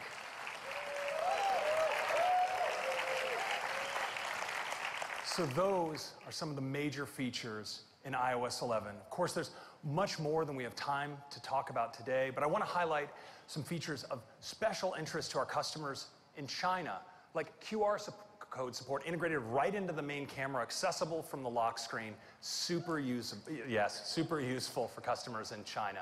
So that's our update for iOS 11. I'm going to turn it back to Tim. Thank you. That's right. iOS 11 is absolutely jam-packed with great features, and I can't wait for you to get your hands on the new App Store and ARKit. Number five, an important part of the iOS story is, of course, iPad. iPad has completely changed the way we work, play, teach, learn, and create. It's truly a magical piece of glass that transforms into anything you want. We've been pushing the boundaries on iPad, and today we're going to push them further than ever before. And to tell you all about it, I'd like to invite up Joz. Joz?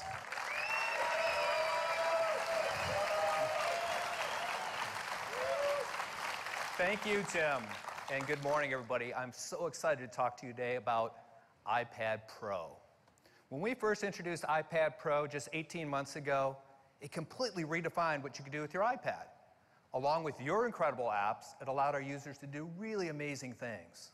From professional design and illustration, to fashion, to architecture, to engineering, and so much more. We're really excited about what can be real in your world today with iPad Pro. Well, and as you know, there's two models to iPad Pro today. There's a 13 inch and a 9.7 inch. And the 9.7 inch is our most popular model. It has a screen large enough to get your work done, but it's in a thin and light enough package that allows you to take it with you everywhere you go. Well, today we're going to introduce an all new iPad Pro. It's going to take everything you love about the Okay, 9.7 what inch I, I think and it give you a whole lot more to love. Let's take a more look. bigger iPad. This Or? is a new iPad Pro. I don't know if it is bigger. It's the first iPad Pro with a larger 10.5 inch Retina display. Now, why 10.5 inch? Well, for one, it's a lot larger. It's 20% larger than a 9.7 inch.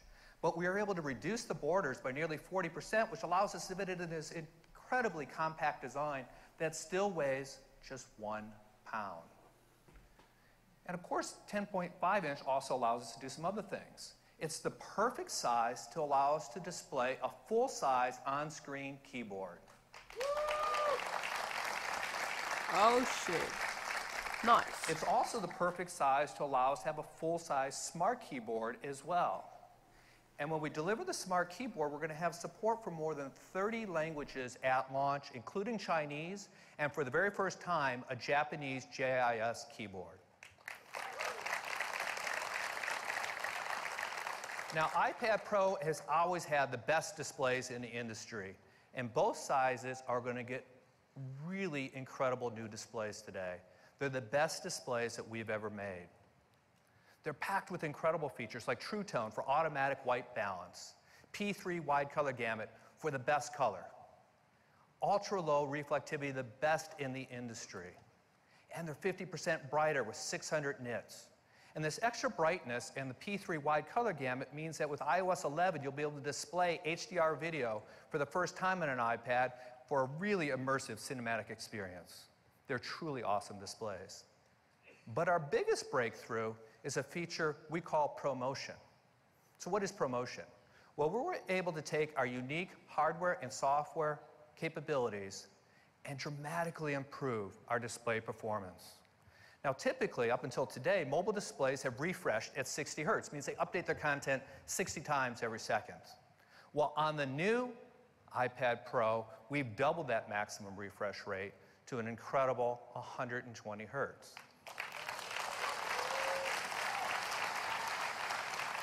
So what does that mean to you? It means that all of your motion content on your screen is going to be smoother, crisper, more responsive. Now, this is something you have to really touch and feel yourself to appreciate because our projection systems just aren't capable of doing those type of refresh rates. But I'll tell you the difference is dramatic. And when you scroll, it's buttery smooth. Now, the higher refresh rate also means that it works even better with the Apple Pencil. We already have the industry-leading performance for drawing and writing with the Apple Pencil, but with ProMotion, it gets even better. It's more responsive, and it reduces our latency to an industry-best 20 milliseconds. So drawing is incredibly fluid and even more natural. You're going to love using the Apple Pencil with the new iPad Pro. Another breakthrough of ProMotion is that these become the first mobile displays to be able to dynamically adjust the refresh rate, depending on what you're looking at. And this is a really big breakthrough for both display quality as well as for power savings. So when you have fast-moving content, they can update quickly. But they can also update slower when you don't need that type of refresh rate. For example, a still image. This allows us to save a lot of energy and give you better battery life. So hopefully you see why these are not just the best displays that we've ever made, but we think they're the most advanced displays in the planet. Next, let's talk about performance. iPad is already best in class for performance, but we're not resting on our laurels. These are the fastest we've ever created. Inside them, they're powered by the A10X Fusion chip. The A10X has a six core CPU, three high performance cores, three high efficiency cores, all automatically managed by the Apple Performance Controller. It also has a 12 core GPU. This is a powerhouse. And it delivers 30% faster CPU performance over our already industry leading A9X and 40% faster graphics performance.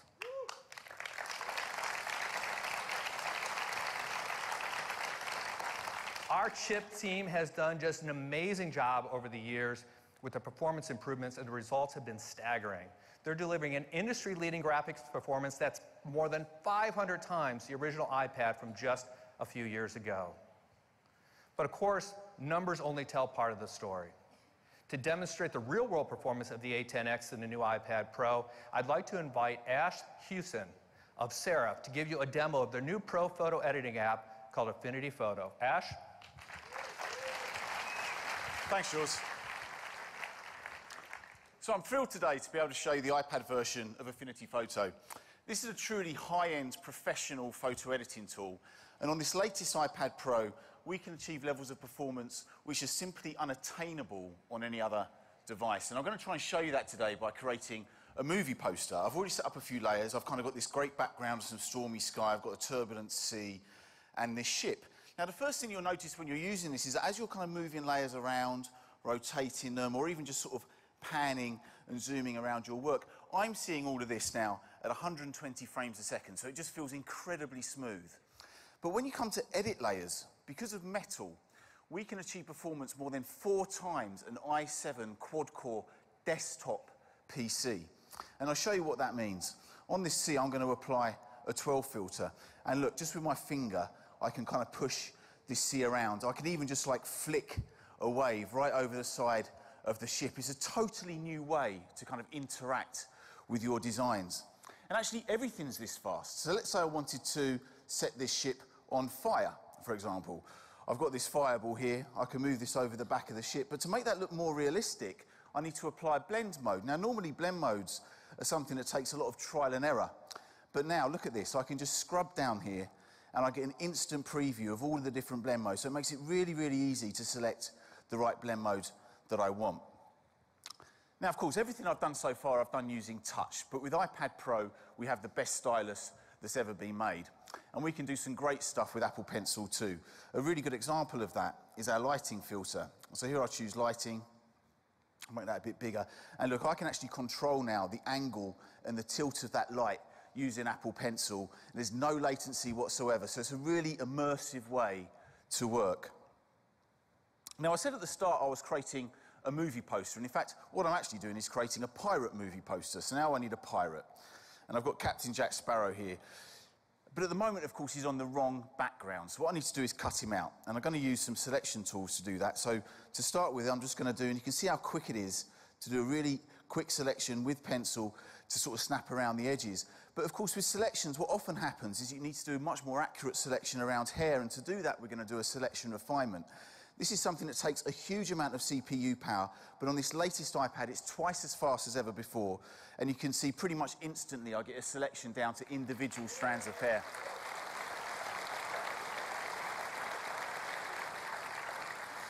And that's it, that's my poster complete, a professional looking poster created on a, design, uh, on a device that I can hold in my hands. It's really incredible.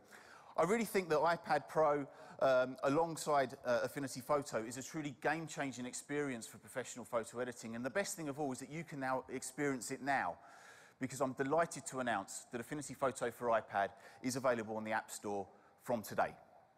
Thank you. Wow. Thank, thank you, Ash. That's amazing performance, again, especially for a device that's so thin and light and a simple one pound package you can take with you everywhere you go. And what's also cool is despite all this performance, the new iPad Pro still delivers the same all day 10 hour battery life that our iPad users love. Next, let's talk about cameras. The new iPad Pro features the latest camera system from our iPhone 7. That means the same high performance 12 megapixel sensor with optical image stabilization. And it has the ability to even capture and, of course, edit 4K video on the go. They're absolutely fantastic cameras. The front facing cameras from the iPhone 7 as well, with all of its great features, like wide color gamut capture, auto image stabilization, and the entire display can light up to become the world's brightest and largest retina flash. We have great accessories as well. The iPad Pro supports USB 3, which means that you're going to get faster transfers with your USB and SD camera adapters. And also, we also support fast charging, means any of our USB-C charge adapters will now allow you to charge at half the time. And we have great new smart covers. We have available in polyurethane, and then we're bringing back the popular leather as well. And then we've designed an all new leather sleeve with a built in storage for your Apple Pencil. So that's the new iPad Pro family, a lineup with the world's most advanced displays, including a brand new 10.5 inch size and incredibly compact design, powerful new A10X Fusion chip, incredible new cameras, and of course, as you would expect, we make all these in incredibly environmentally friendly ways we're also going to double the amount of memory that comes at the beginning of these configurations. Both, both sizes will now start with 64 gigabytes of memory.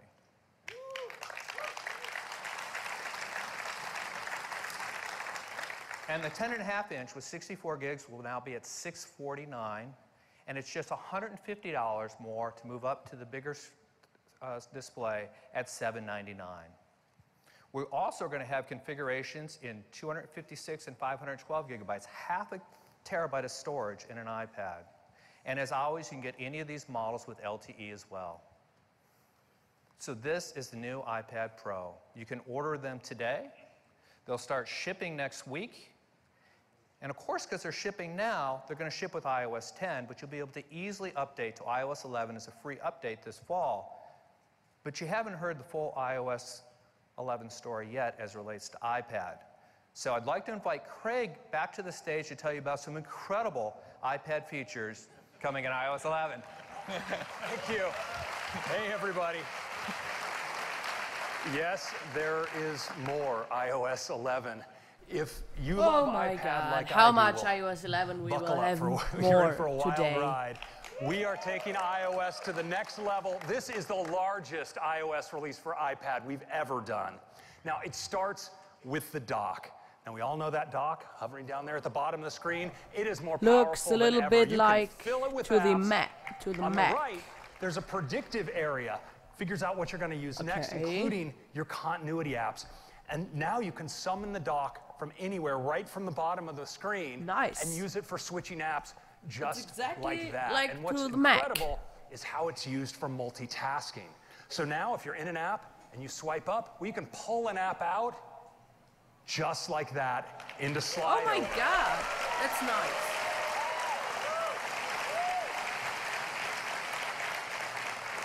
Now, of course, you can snap your apps into split view, but what's really cool is the new app switcher because it preserves all of your spaces with your app pairings. It's really great. Now, the iPad, of course, is the ultimate multi handed, multi touch device. And so we're so excited to bring drag and drop to iPad.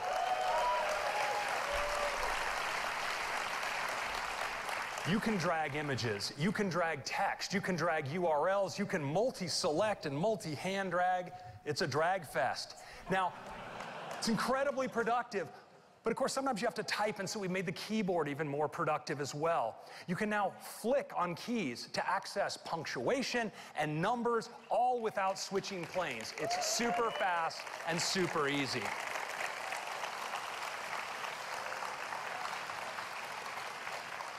Now, we have a new app to introduce to you today, and it's called Files.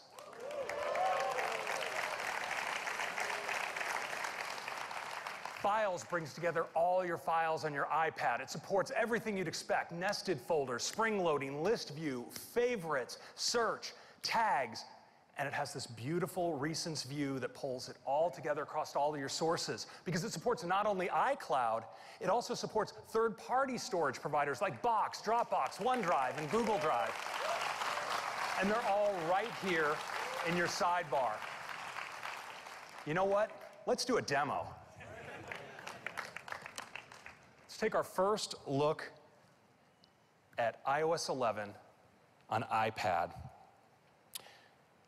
So here we have our new dock at the bottom. Now I can easily drag right into the dock, just like this. It's a great way to launch apps, as always, but now it's also a great way to switch apps.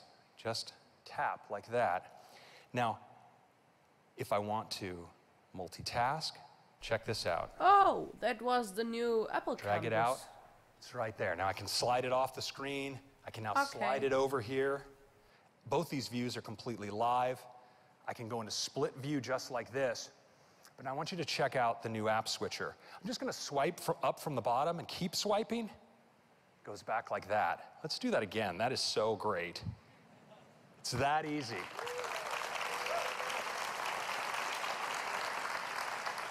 Now you notice our, my spaces are preserved. So over here on the left, I have Mail and Safari. In split view, I can just tap those open like this. Let's try some drag and drop. So I'm going to drag a URL from the top of Safari here right into this mail message. Drag it and drop it. Now I can drag it. Yep. Let's drag an image. Yep, just like that. Now, I want to focus just on mail because I'm going to show you dragging across spaces. So let's go into photos. I have some uh, great photos here of some potential uh, drone protection options for the new campus. So I'm going to start a drag, but watch this. With my other hand, I'm going to tap. I can add to this selection just like that. And I can even swipe up with my other hand into multitasking. Move over to mail and drop.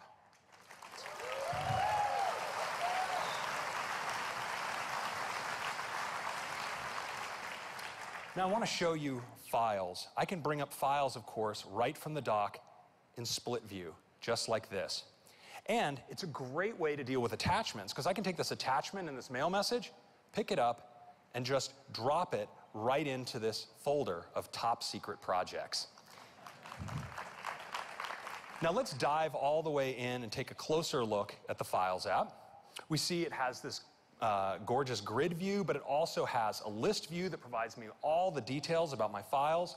I can sort them by size, or let's uh, sort by date. Now I can create new folders. Let's say I want to create an R and D folder right here. I'm going to take some of my top secret perspective projects and I can do multi-select just like this, drop them in. Now I can also take the folder, drag it right in to my favorites, and these are synced across all of my devices. And if I want to tag a file, of course I just drag it right on there and make that one important. And you notice in addition to iCloud, here on the left, I have accessed all my cloud providers like Box. So you can see I have files here I'm using and folders that I'm using for collaboration. And that includes this drone defense proposal right here, uh, pr presentation. And I want to show you when I go into the recents view from the tab at the bottom, notice I get a view across everything, including that one uh, inside a box. I'm going to tap into that keynote presentation, and for my final act, I want to show you how I can use files directly from the dock. Just swipe up. If I tap and hold, I get access to my recent assets. I can just pick this up, drop it down, just like that. And that is a quick demo of our productivity features on iPad. Now, next, I want to talk about Apple Pencil because Apple Pencil has really created a whole new way of working on iPad. And with iOS 11, we've integrated it deeply into the system. Now it starts with markup because you can mark up anything you can quick look. You can take Safari content. We create it into a continuous scrolling view that you can mark up. And you can actually do this with any app that supports printing because we have a create PDF option that'll create a markup PDF. It's a really great way uh, to mark up anything and share it. And we know a lot of people do like to share with screenshots. And so now when you take a screenshot, we'll create a thumbnail down on the bottom of the screen. If you tap it, you go instantly into markup. You can mark it up right there and share it. Now, we've all, it's really cool. Now, we've also integrated Pencil deeply into notes. So if you're working on a note and later you're at the lock screen, you want to get back, just a tap of the pencil to the lock screen and you're right back into your note. And we've made your note handwritten text searchable. So we can now search handwriting. We use deep learning to recognize what you write.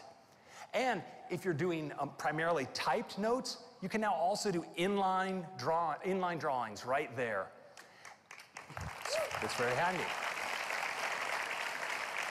Now, of course, sometimes we still have to deal with paper, so Notes now has a built-in document scanner. It can correct perspective and contrast.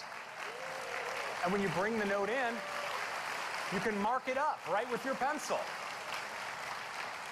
And we've integrated markup into mail as well, so you can personalize your mail messages with inline drawings.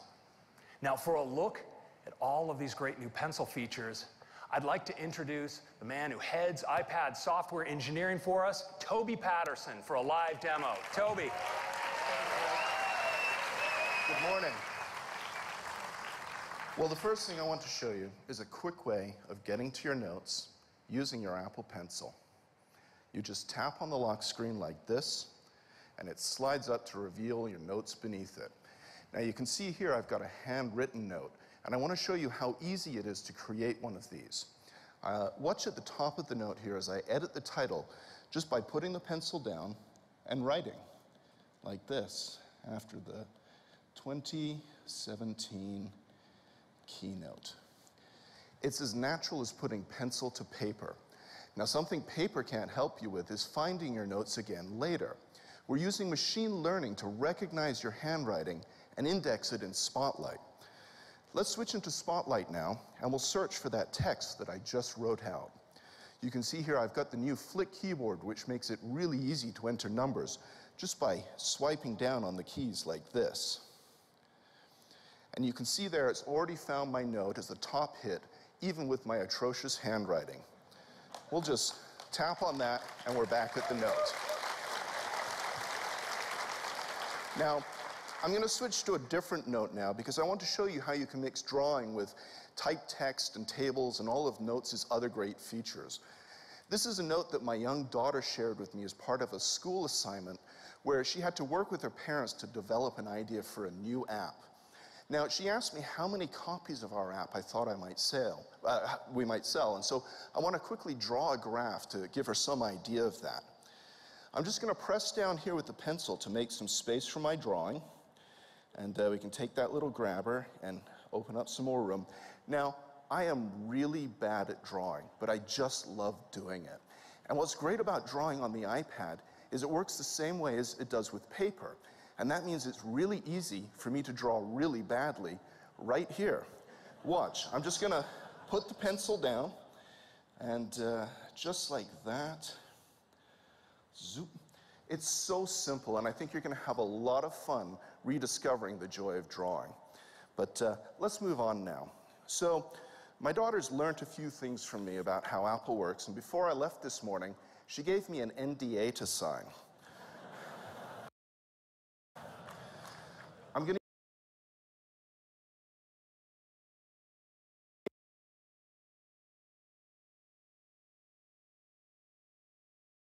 What is happening here?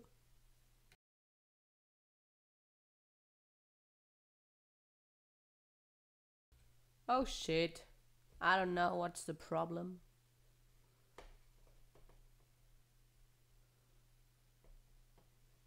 Let's go. Give me that shit. Yes. Come on. Faster. Life and then we'll tap on the thumbnail here Okay. to open up our new screenshot editing UI. From here, I can crop it down to just the part of the image that I want to send. I can scribble a quick note with my pencil. And then I can bring up the share sheet to send it off to my wife right away. So these are just a few of the ways that you can use your pencil with your iPad in iOS 11. Back to you now, Craig. Thank you.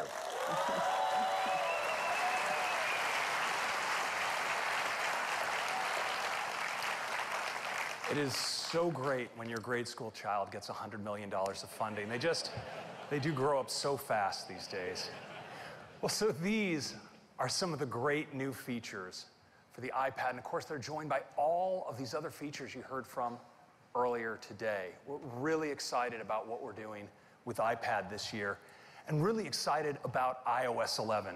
Now, iOS 11 is available to all of you developers today. And if you sign up at beta.apple.com, you can get a beta at the end of the month. And we're making it available as a free upgrade to everyone in the fall. It supports all of these devices. That is your update for iOS 11. I'm going to turn it back over to Tim. Thank you. Finally, That's right. we ended with iOS 11. iOS 11 really takes iPad to a whole new level. People are going to be able to do more in more places than ever before. we we are so excited about the marriage of iOS 11 and the new iPad Pro that we made a video, and I'd love to run it for you. Okay, let's see.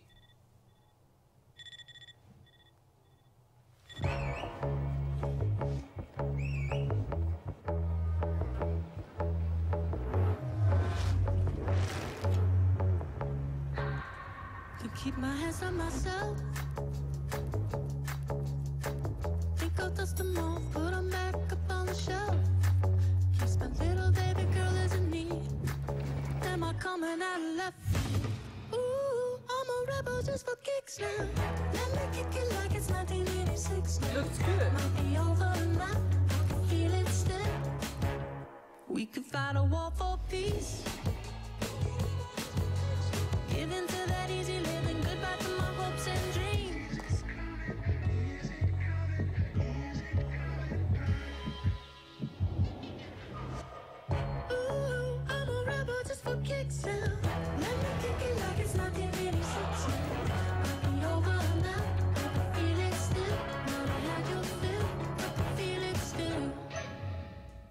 Nice.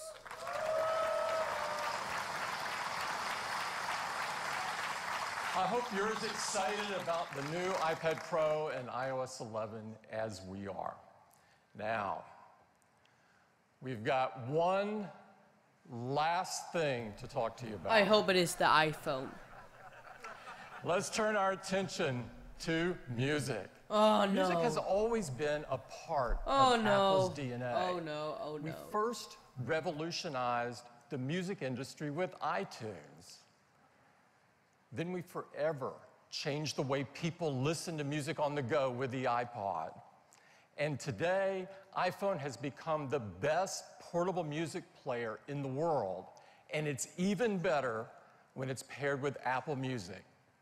You now have 40 million songs in your pocket.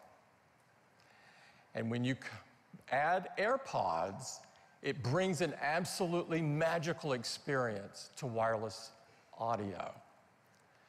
Now, so we have such a great portable music experience. But what about our homes?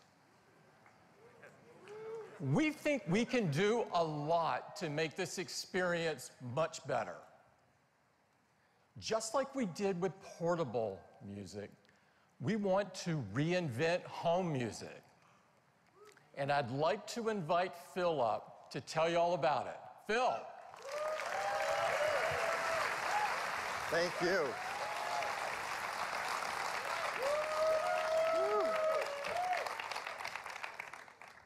This is really exciting. The chance to reinvent the way we enjoy music in the home. I can't think of anything that matters more to so many of us. Why hasn't this happened yet? There certainly are a lot of companies hard at work making products to enjoy music in our home, but none of them have quite nailed it yet. Some have worked hard to make wireless music sound good around our homes, but these aren't smart speakers. Others have worked to make smart speakers that you can talk to. They don't sound so great when you listen to music. We want to combine all this in a product that can really deliver a breakthrough experience. And our team has been hard at work for many years No now way. on a breakthrough home speaker. And it has to do a few things really great if it's going to be a great breakthrough speaker. First, needs to rock the house. Right? We need to enjoy our music, whatever genre you love, really low or really loud, free from distortion. Second, it needs to be spatially I hope that is aware. from Apple. It's going to fit in different rooms in our house, and it needs to be smart But enough I to know what to do to make Apple the music sound great. Third, it has to be really fun to use. It has to have a built-in musicologist, an expert on music, who can help us to hear the music we love or discover music we're going to love. Now, we're working on this speaker for later this year, but we want to give you, 6,000 of our closest friends, a sneak peek at it this morning. Okay. And here it is.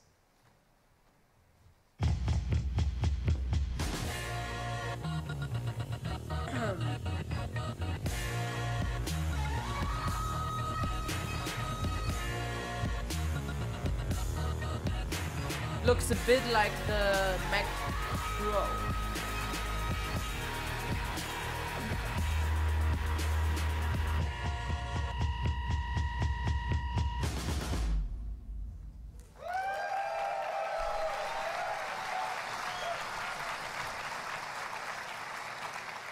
It is absolutely beautiful, and we call it HomePod.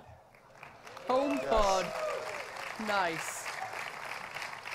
Just like iPod reinvented music in our pockets, HomePod is going to reinvent music in our homes.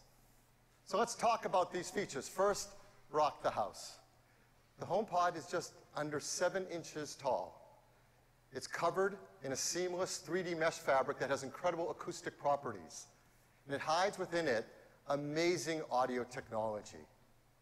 For example, along the bottom is a seven array beamform tweeter pack that's packed with seven tweeters, each with their own individual driver. They have precision acoustic horns that drive the audio from within and then out along the bottom with tremendous directional control. And that'll become really clear in a bit as we talk about how it works. It has a really big woofer, a four inch woofer, upward facing with a large motor to move a lot of air. It has automatic bass equalization and dynamic software modeling so that as we turn the volume up, it's free from distortion. And all of this is controlled by an Apple A8 chip. Yes, the same chip that powers the inside of our iPhone is inside HomePod. It's perhaps the biggest brain ever in a speaker. And it does some incredible things.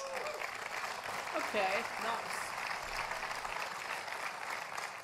It does real-time acoustic modeling, audio beamforming, and multi-channel echo cancellation. You don't have to know what any of that is, just know that it sounds incredible. Next, talk about this spatial awareness. What does that mean? Well, you plug in your HomePod to AC and it gets its music wirelessly. And it's compact enough that you can put it most anywhere in your house. You can put it on a table, on a shelf, against the wall, in a corner, and it intelligently and automatically detects the space it's within. And it uses that information to adjust the audio, to balance it, and take full advantage of the environment and create a very spacious sound. Now, we want to give you a sense of what that experience is like. So, we want to play some music in this room and show you a visual simulation to give you an understanding of some of the technologies it's using and how it's adapting them to make an incredible sound out of this compact speaker. So, we're going to start by playing an audio track, and it'll be a full mix, and then we're going to break it down into some of the components that the HomePod controls.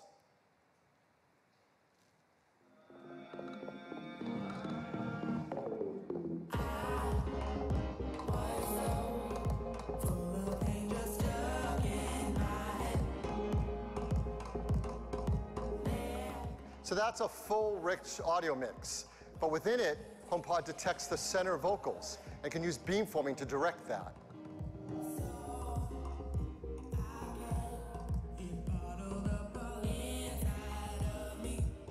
It gives incredible clarity and precision.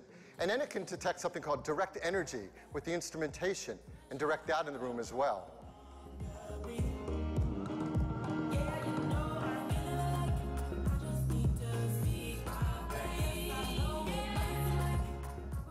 Addition to that direct energy, there's something that's usually missing in music, ambient audio, the backing vocals and reverb.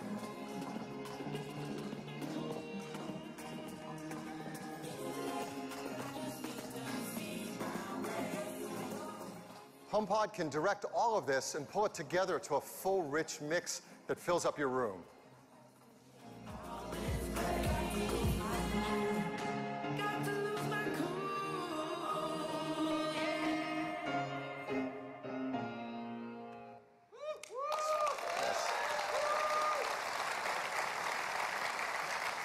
It's a really remarkable experience to hear this kind of a spacious sound come from such a compact speaker. And if you love one, you should see what it's like when you set up two and they automatically work together to give this incredible spacious sound that really has the power to rock your house. Next, a musicologist, this intelligent helper to help us discover the music we love. HomePod has incredible speaker system that works together with our Apple Music subscription. From the beginning, it's designed to work with that. Now, Apple Music, as you know, provides music in the cloud, and the speaker can get it directly from the cloud. You can get 40 million tracks, 2 million artists, tens of thousands of playlists, but not just any music library. This is your music library. It knows the playlists you've set up, it knows the artists you love, and all of them stream directly to your HomePod.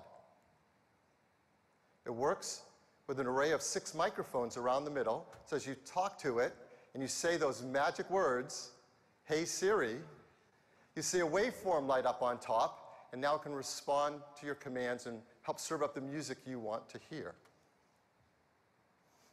The Siri team has worked very hard to adapt the domain of music and Siri to be even greater and understand more of the questions we're going to ask about music. Simple things, obviously, like play Beats One Radio. We all want to do that. or play I'm Poppy. Check it out if you don't know what that's about. play something new. Who's singing on this track? Something I ask all the time. Who's playing drums on this track? For complex questions like, what was the top song on May 5th, 2016? Or just play more like that, or I like that song. These are free form. Siri doesn't need a specific list of commands. It can interpret what you're saying and help you discover the music you love.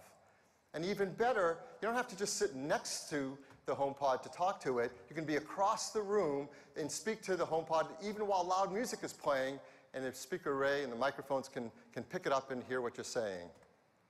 So HomePod, it has the power to rock the house. It has spatial awareness so that it understands the rooms we place it within. And it has the fun interactivity of Siri becoming a musicologist and helping us to listen to the music we love. And since Siri's built in there and you can speak to it, well, the team's also worked hard to make it a great and helpful home assistant as well. We said the domain of music is something Siri knows really well in HomePod. There are other domains as well. We've worked hard to pick the first ones that we think matter most in a product like HomePod. So, of course, you can play your podcasts, but it can also do things like give you news, give you weather, traffic, sports. You can ask it to set a reminder, set a timer, text someone with messages. And if you have HomeKit devices set up in your home, you can speak to your HomePod and control your HomeKit devices. So, for example, with a HomePod set up, you can say, when do the Red Sox play next? They're going to beat the Yankees, trust me. Tune to NPR instead. Flip a coin. Remind me to bring snacks to a party. You can set up reminders, check all these sports news and weather, all directly with your voice. Talk to a HomePod to get the information directly from the cloud. And if you have HomeKit devices set up, you can say simple things like, are the lights on? Turn the heat up. Turn on the air conditioning. Bring the shades down halfway. Turn off the lights in the bedroom. And if you've set up scenes in HomeKit, you can control those as well. You can say, I'm home. It's movie time. I'm leaving now. And the whole scene can automatically happen just by talking to your HomePod. And because there is a HomePod uh, base, a HomeKit base built into HomePod, that means anywhere in the world, once you've set up your first HomePod, you control your HomeKit devices remotely using the built-in Home app on your iPhone or iPad. Now, setting up a HomePod and its microphone array in your home, you probably have a question that we've worked really hard to deal with, which is privacy. Our team cares deeply about your privacy. So, for example, it has that magic phrase, Hey Siri. Until you say it, nothing's being sent to Apple. It recognizes when you do say it, and from that point, it sends an anonymous Siri ID in order to help you with the commands you're looking for. And of course, that communication is all encrypted. So this is the HomePod. It's a breakthrough home speaker. Typically, Wi-Fi speakers, if they're good quality, are $300 to $500. And a smart speaker might cost you $100 to $200. So it's not unreasonable for a HomePod to be priced in the range of $400 to $700. So we're really excited to tell you that HomePod is going to be priced for $349.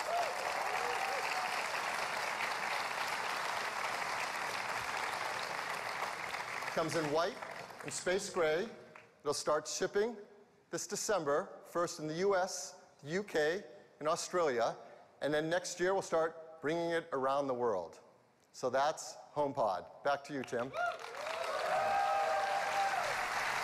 Okay, so where I live in Europe, in Germany, it will not be in December. Cool. We really believe it's going to take your home music experience to the next level. Okay. Now, it's been an incredible morning. We've shared with you lots of things this morning, and all of them are shipping this year. Some now, some in the fall, and others at the end of the year.